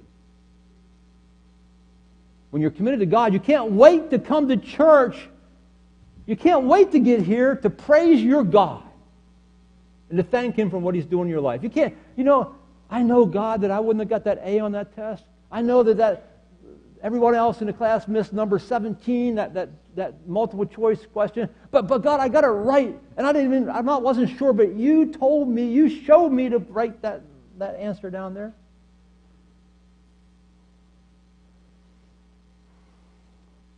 when you're committed to God, but when you when you're compromising, you just say, "Man, I'm good. These other students are dull compared to me. I worked harder. I deserve it." And we can mess ourselves up. And then, if you have a, a dad who's in who's in a, a position of compromise, guess where his son is probably or his daughter is probably going to end up? In conflict. And it's true. Go with me to 1 Kings. We're, we're getting done. 1 Kings. Are you with me so far? You, you see how the slide is downward away from the truth, downward away from commitment to God? It's a natural way the world goes. 1 Kings chapter 12. 1 Kings chapter 12. Were you there? Say amen. And now we have King Rehoboam. And he's, he's starting his reign. And, and, and I'm telling you what, when, you're in, when your dad is in compromise, you know, everything was about Solomon, Solomon, his pleasure, his women, his, his everything, and I did it all. You never talked about all the people that were sacrificing for him to be able to do this. And, and, and taxation was supposed to be the highest it's ever been during that time frame. And, and so the people came to Rehoboam and said, Can you cut back on the taxes? And let's see what happens here. Verse 4 Your father made our yoke heavy. Now therefore, lighten the burdensome service of your father and this heavy yoke which he put us in, put on us, and we will serve you. So he said to them, Depart from, from the depart from three for three days and come back to me. And the people departed. Then King Rehoboam counseled, consulted the elders who stood before his father Solomon while he still lived. And he said, How do you advise me to answer these people? Let's just flip the page if you have to. Go back down to verse 16. And listen to this. Now, when all Israel saw that the king did not listen to them, he did what? It's not about them, it's about me. The people answered the king, saying, What share have, have we in David? We have no inheritance in the son of Jesse. To your tents, O Israel, now see your own now see to your own house, O David. So Israel departed to their tents, but Rehoboam resigned over, reigned over the children of Israel who dwelt in the cities of Judah. Then King Rehoboam sent Adoram, who was in charge of the revenue, but all Israel stoned him with stones, and he died. Therefore, King Rehoboam mounted his chariots in haste to flee to Jerusalem. You see what happens when you're when you when you when you live around people that are in compromise, you think that's the way to do things. So you end up being here because the slide is naturally down and you actually have destroyed what God has set up. happens in churches. When you have people that care more about their own selves than they care about the will of God in God's church. Are you with me, church? So you Rehoboam heard stories about how grandpa was a man of God. Grandpa slew lions and bears and Goliath and, and, and led armies and he talked with God and he walked with God. But then dad seemed to think about himself a lot and serving and bringing women into his life to serve Baal. And so he ended up in the decline down to, to a, a, place where he, he, was conflicted with God and everyone around him. Listen, let me tell you something. The lesson here is talk is cheap. You hear what I'm saying? If you're a dad, if you're a mom, and you're telling your kids, I want you to be close to God. I want you to, I want you to have a committed relationship with God. Are you listening to me? I want you to be all about God, but you're not that way. But your talk, you talk that way. Your talk and your actions don't go to, they don't jive, your kids are reading you better than you can read yourself. And when you, when you say, God's number one in my life, don't you see me on Sabbath? Your kids are saying, Yeah, but I see you the other six days in a week too. I see you, I never see you praying with us as a family. Mom may get us a, at the family altar, but you're never there. I never see you ask God to bless us when we go on a trip in the car. I, I, I, I know that when you get paid, do you rarely do you ever give anything back to God and say, Thank you, God. You see, your kids are watching us. And if you say you're sitting in chair number one, but you're really in chair number two, the kids know it. So, where do you expect them to end up? The normal progression is downward. And if we're moving downward ourselves, it just, it just makes our kids that much more likely to end up where we don't want them to be. Our lives are an example to our kids.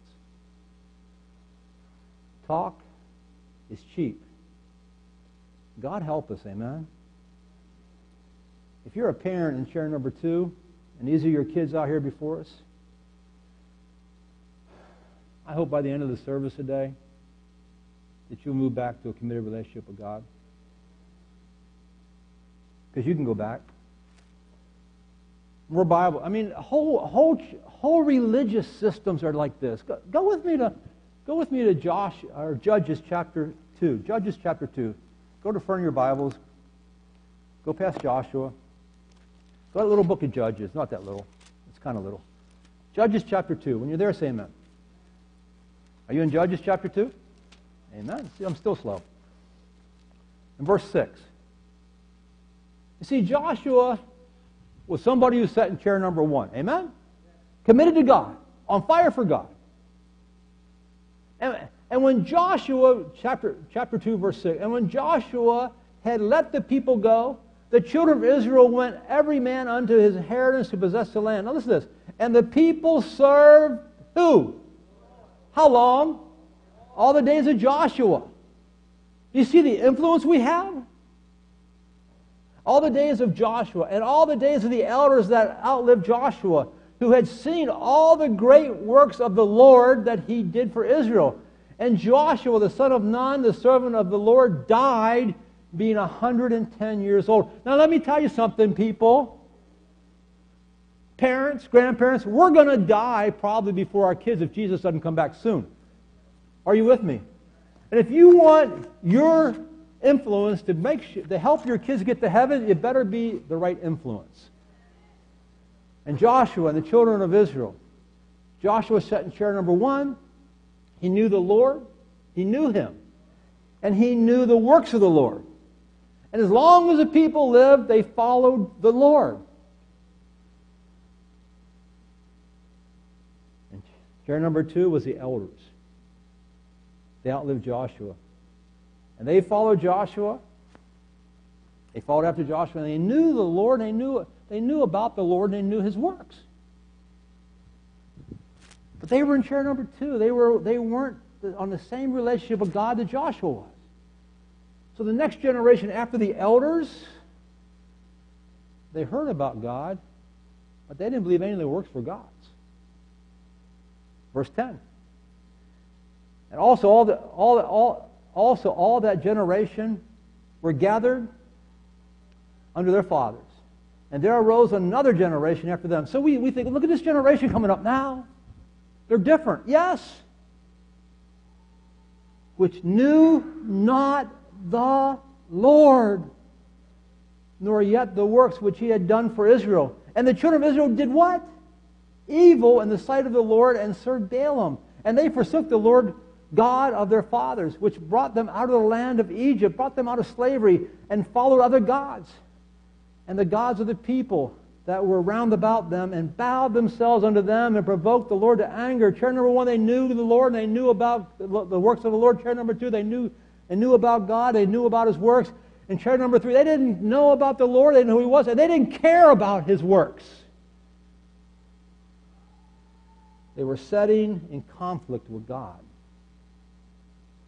So they're lost, is what we're saying here. So, how do we apply this?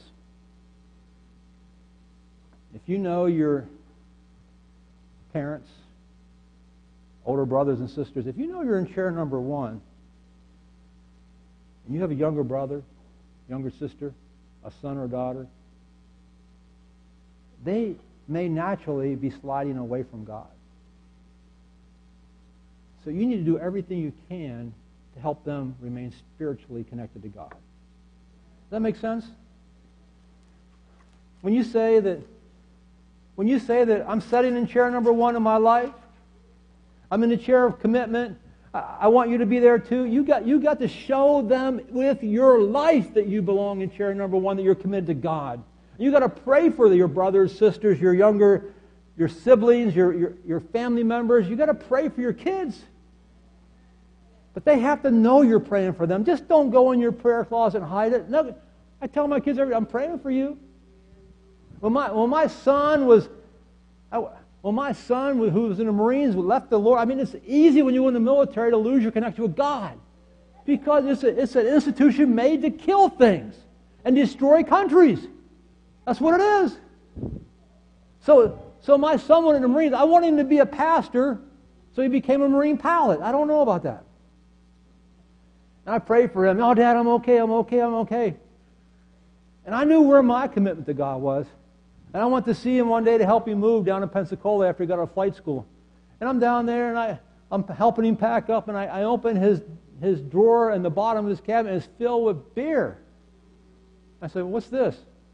Oh, oh, uh, I just got that because my buddies come over, you know, and um, I don't drink it, but my buddies drink it, you know. And I said, Oh, my, my, my. I said, How quick they fall.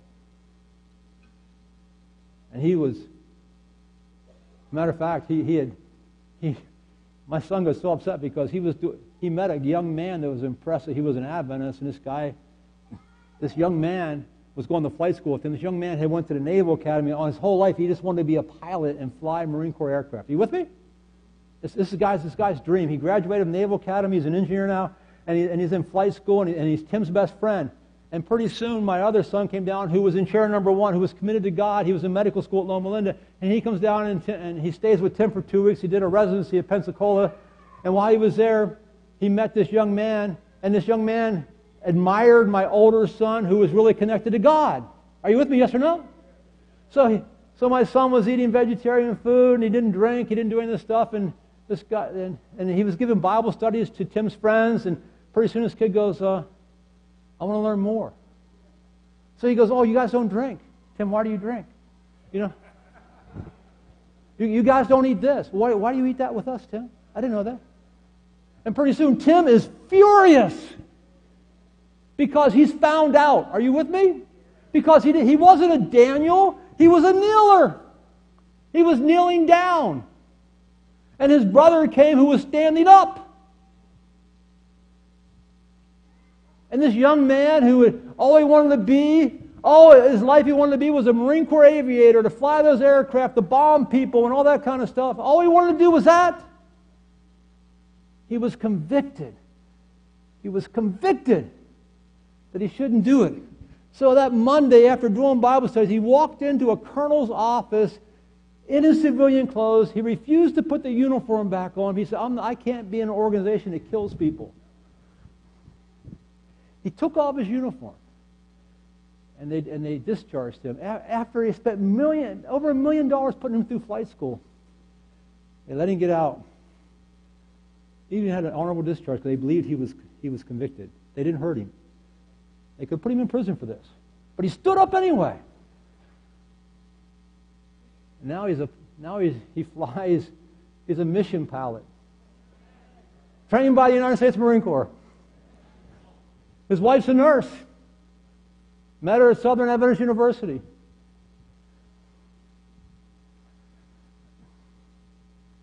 And it helped my son, who was falling away, come back to Jesus. Because he couldn't answer the questions. You see,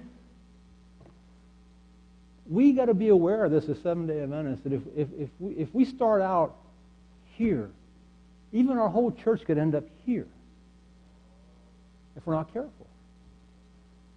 We have to be vigilant for God. Amen? How to keep your child in chair number one. I'm going to give you some, I'm going to give you four remedies. Okay? Parents,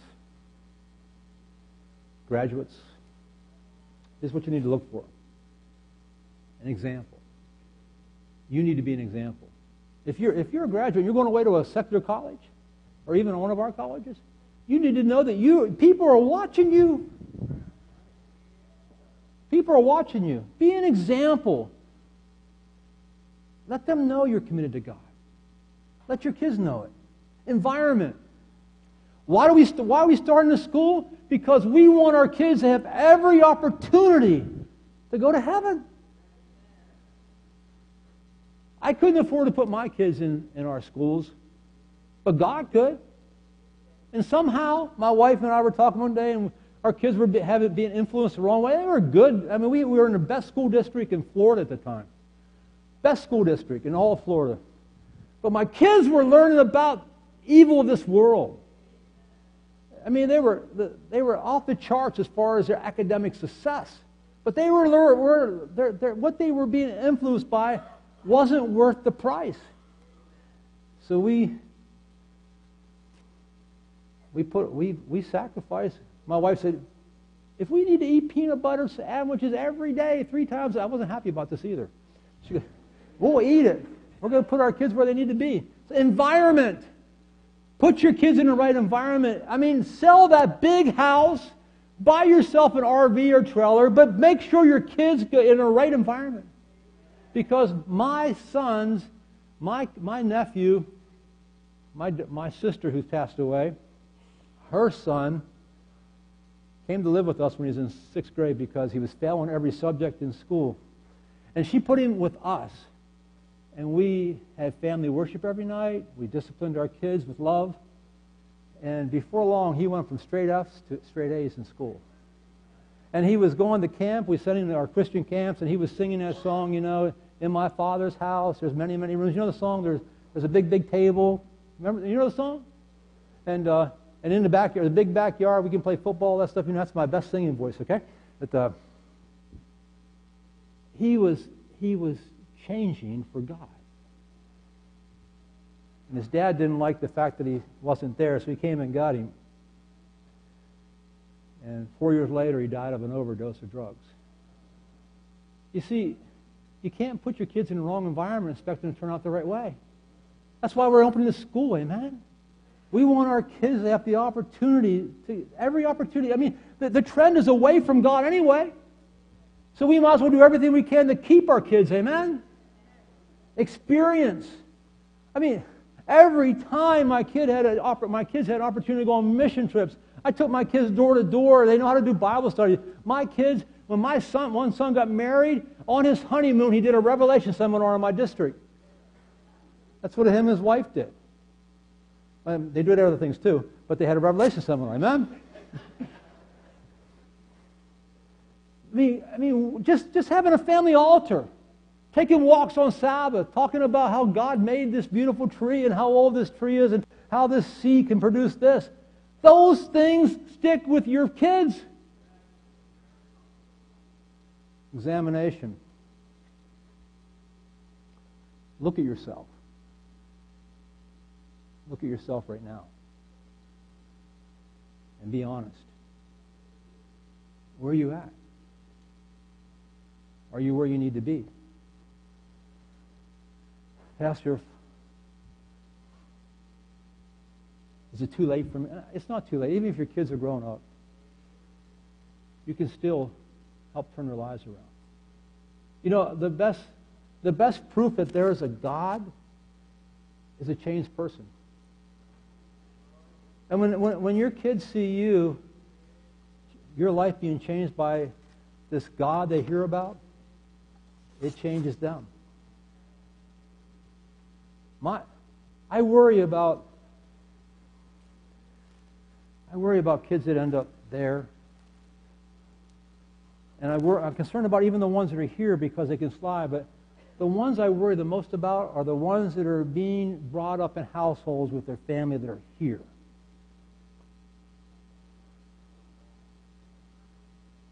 Because if you're here as a parent, as a mentor, as an elder in the church, as a deacon or deaconess, if you're here, you are influencing people to be there.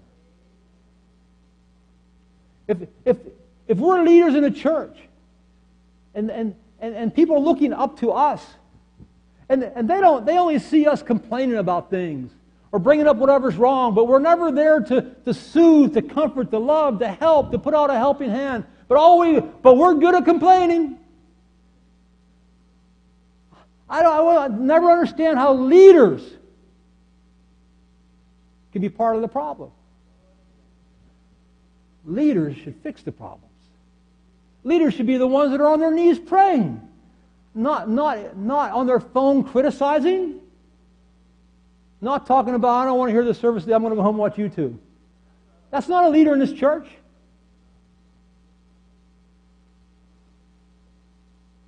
That's somebody that's in compromise. They might act like they're committed. Being committed doesn't mean you walk around and be the holiest of holies. We already got somebody to do that. His name is God. Being committed means that you're in a relationship with Jesus It shows in your life. And when you walk down those vestibule in the morning or these hallways, you, you, the love of God shows in your walk with God. You don't come to church grumpy. You come to church expecting God to do something that day. Chair number one is the winner's chair. Chair number three is the loser's chair. And this is the gambler's chair. Because you're gambling, you can, you can act holy enough to trick people. I'm telling you, when, when conflict comes, it's going to come out who you really are. And when we have problems in the church, you know, instead of taking care of them and, and deal with them in a loving, Christ like way, the people here, the first thing they want to do is throw people under the bus. Ah, the leaders. Oh, the music. Oh, this. How about helping those people get them back to here? And in the process, you'll get there too. Amen? How do you change the chair you're sitting in?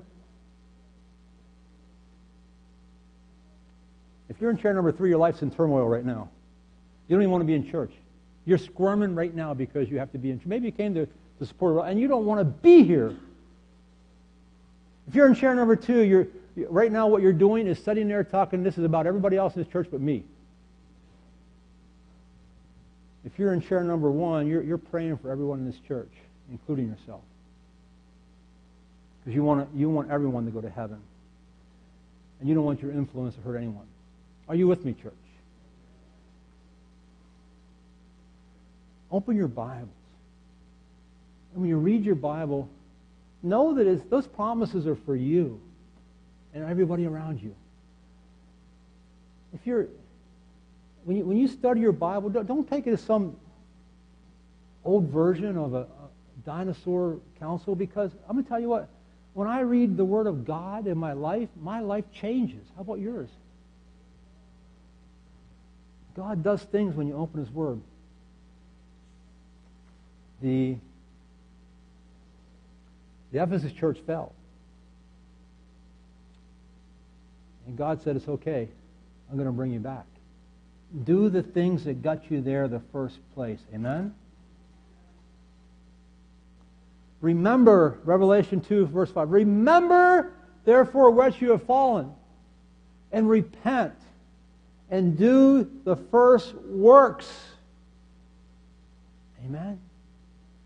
Realize where you're at with God, and get to where you need to be with God. Remember when you were in chair number one, when you were committed to God.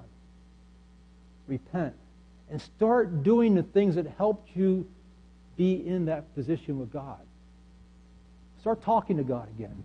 It's amazing how He answers you when you talk to Him. Can I get a witness? God is saying, get up and move from where you are to where you need to be. I mean, move these chairs out of your life. And don't let them be a possibility because become so sold out to God that the only option for you is commitment to God. And when you do that, people around you are going to be influenced. Are you with me, church? He was the first mate of the HMS Bounty. Mutiny on the Bounty. You, saw the movie? You read the book? Yes or no? The old movie where Humphrey Bogart was Captain Bligh. Remember that? It's true. And the, and the hero is Fletcher Christian, that first mate. It's all true. But you know the rest of the story? Fletcher Christian was raised by a Christian family, actually nobility. He was on this ship, and, and, be, and he, had fallen, he had fallen away from God because of the influence of a captain who was ungodly. And on that trip to get breadfruit from Tahiti and bring it back to feed the slaves back in, back, back in the lands held by the English, the, Brit, the English Empire, as he was doing that, he met this young Tahitian princess that he fell in love with. Uh, he couldn't pronounce her name, so he called her mainmast on the ship. That was his mainmast. And as they left there, the pirate, he had to leave his wife behind, but the, but the, but the captain was so mean to the people that they were planning a mutiny. So they convinced Fletcher Christian to be part of this mutiny. And he decided to do it. And nine of, nine of the crew, actually a few more of the crew, they had died, they died soon after, took, took over the bounty, cast the captain and some of his crew into the water. They, they made it back to England some way, thousands of miles away. And these royal sailors became pirates. In the 1700s, if you, were, if you, if you mutinied, was, you, you were hung if you were caught. So they knew that the British Royal Navy was coming after them, so they, they went back to Tahiti, picked up their wives. Some of them had got married to these women while they were there picking up the breadfruit. And they, and they went, and they had some Tahitian men there too with them. And they went and they were looking for a place to hide. And they found this little island family that was in the middle of nowhere, wasn't even on the charts that he had. And, and they, and they start, decided they would stay there. So they burnt the ship. They were, they were going to stay there. It had water, it had, had good soil, they had coconuts. They, they started to plant their crops, and they were going to live in utopia. Well, it was all good for the first year until they learned how to make wine. Then they started getting drunk. And there wasn't enough women for all the men. They started killing each other. And by the end of that year, there was only two men left. Fletcher Christian was dead. He had a couple kids by them to his wife. They were left behind. There were eight Tahitian women left. The Tahitian men were dead. All the, all the pirates were dead, except for two men. And one of them name was John Adams. And the other guy died of, of tuberculosis soon after that. So it was only John Adams left. And he was a rough, tough sailor who was down here in his life, in conflict with God. And now he had eight Tahitian women, a bunch, 28 kids running around the island, and he was the only man there. And he could have took advantage of those women. He could have done a lot of things. But instead of that, Fletcher Christian's wife gave him the Bible that was on the ship. And he started reading it. And he could barely read. And he made friends with some of the kids. And, they would, and he taught them how to read. They, they taught all their kids how to read from the Bible. In a few years, Pitcairn, the name of the island, became a living heaven.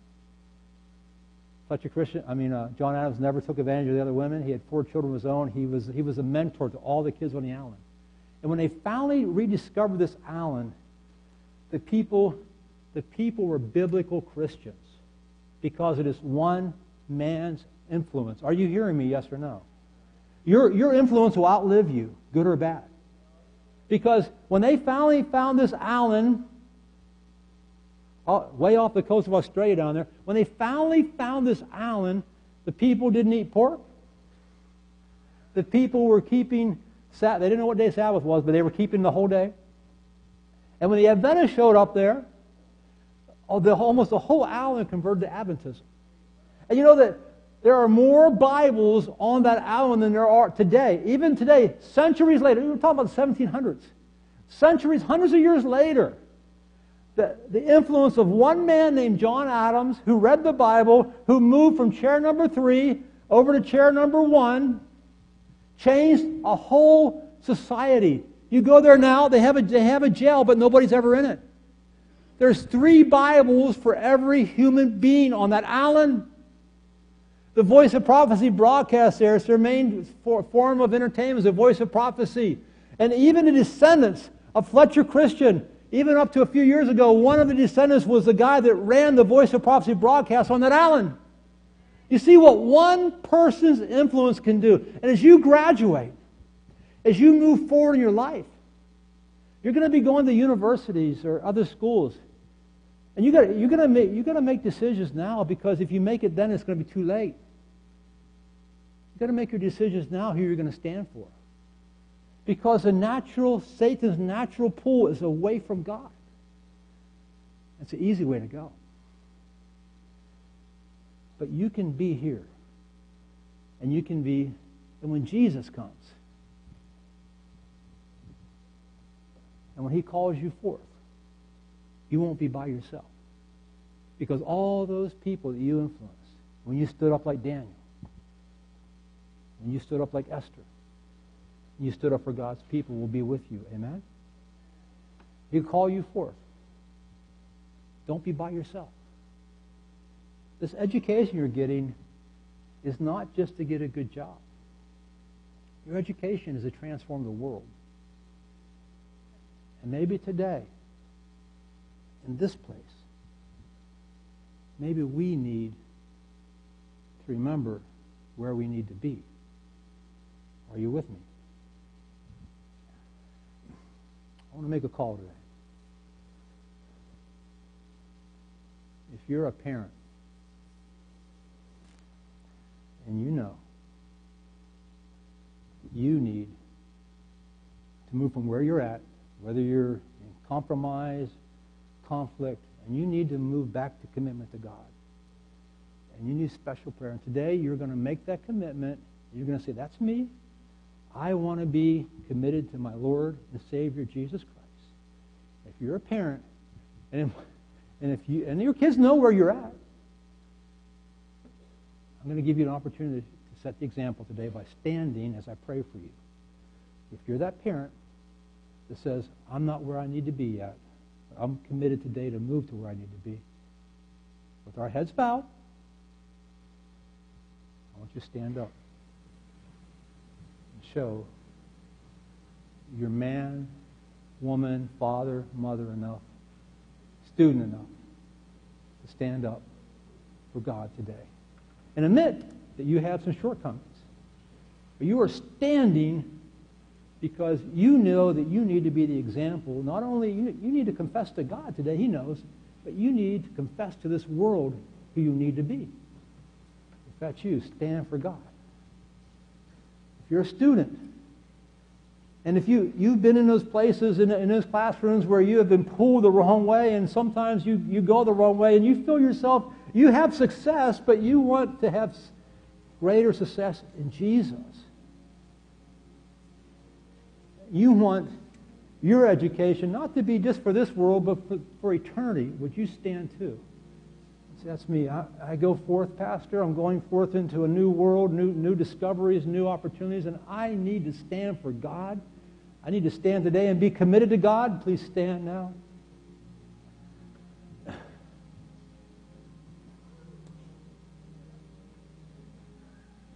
Father, around this sanctuary today, we, we, we look at our families and we look at our kids and, and how, how tenuous this Christian walk can be. How one day we can be a church that the apostle can't say enough about how full of love they are. Next, a few chapters later, a few books later, they've lost it. And some of us in this place today are here to say, I might have slipped, I may have lost it, but I'm getting it back. Father, touch the people that are standing in a special way. When they go home today, let their witness be such that their kids will know that they're standing for God, that there's something different. Let the, let the altar of the, house, of the homes of this church be open for business. Let the prayer circle be active and, and fervent. Bless these ones that are standing for you today. They're, no, they're doing nothing less than those three Hebrew boys that went in the fire. Because this world is a flaming place of evil today. And you have people standing for you and say, Not me.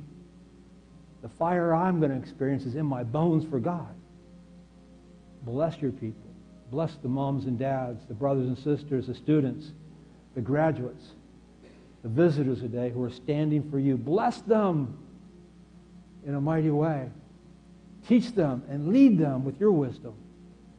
And Father, may they be people like Joshua who knew God and knew about God's works. and may they teach others. Bless your church. Bless your sons and daughters. In Jesus' name we pray. Amen. Please stand for our closing hymn if you're not standing already.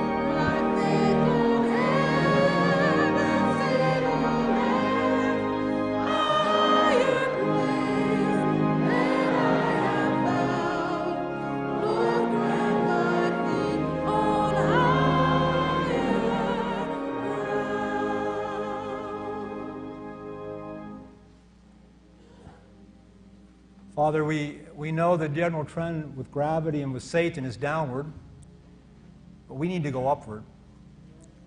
And we ask you today to bless us, Lord, with staying power.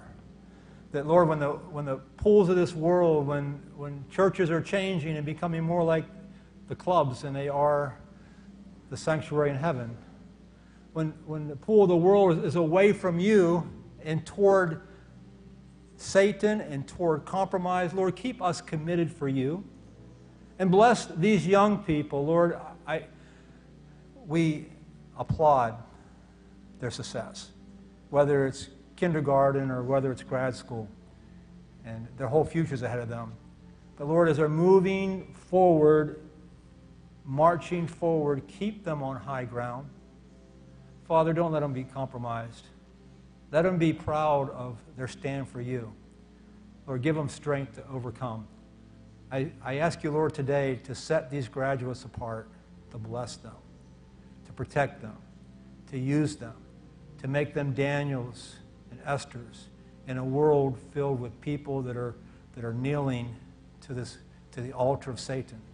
Make them different so that those who are looking for God may find their God, your God, through these witnesses for you. Bless them. We know we live in Babylon around us, but keep our eyes in heaven and keep our minds towards you. Bless your people. We ask in Jesus' name. Amen. Please sit down.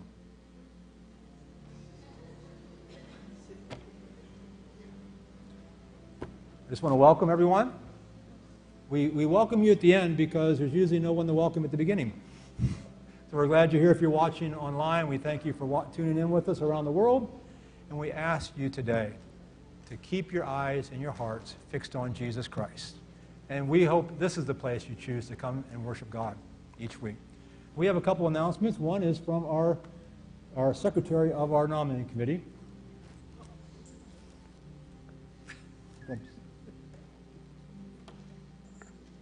First, I want to thank Pastor Shives for that much needed sermon. Right on target. This is a ex- very exciting list I'm about to read from our nominating committee, which is working hard. And it's the list for the school board for our new school, Conyers Adventist Academy. So I'm going to read the names twice for the members of the school board for this coming year.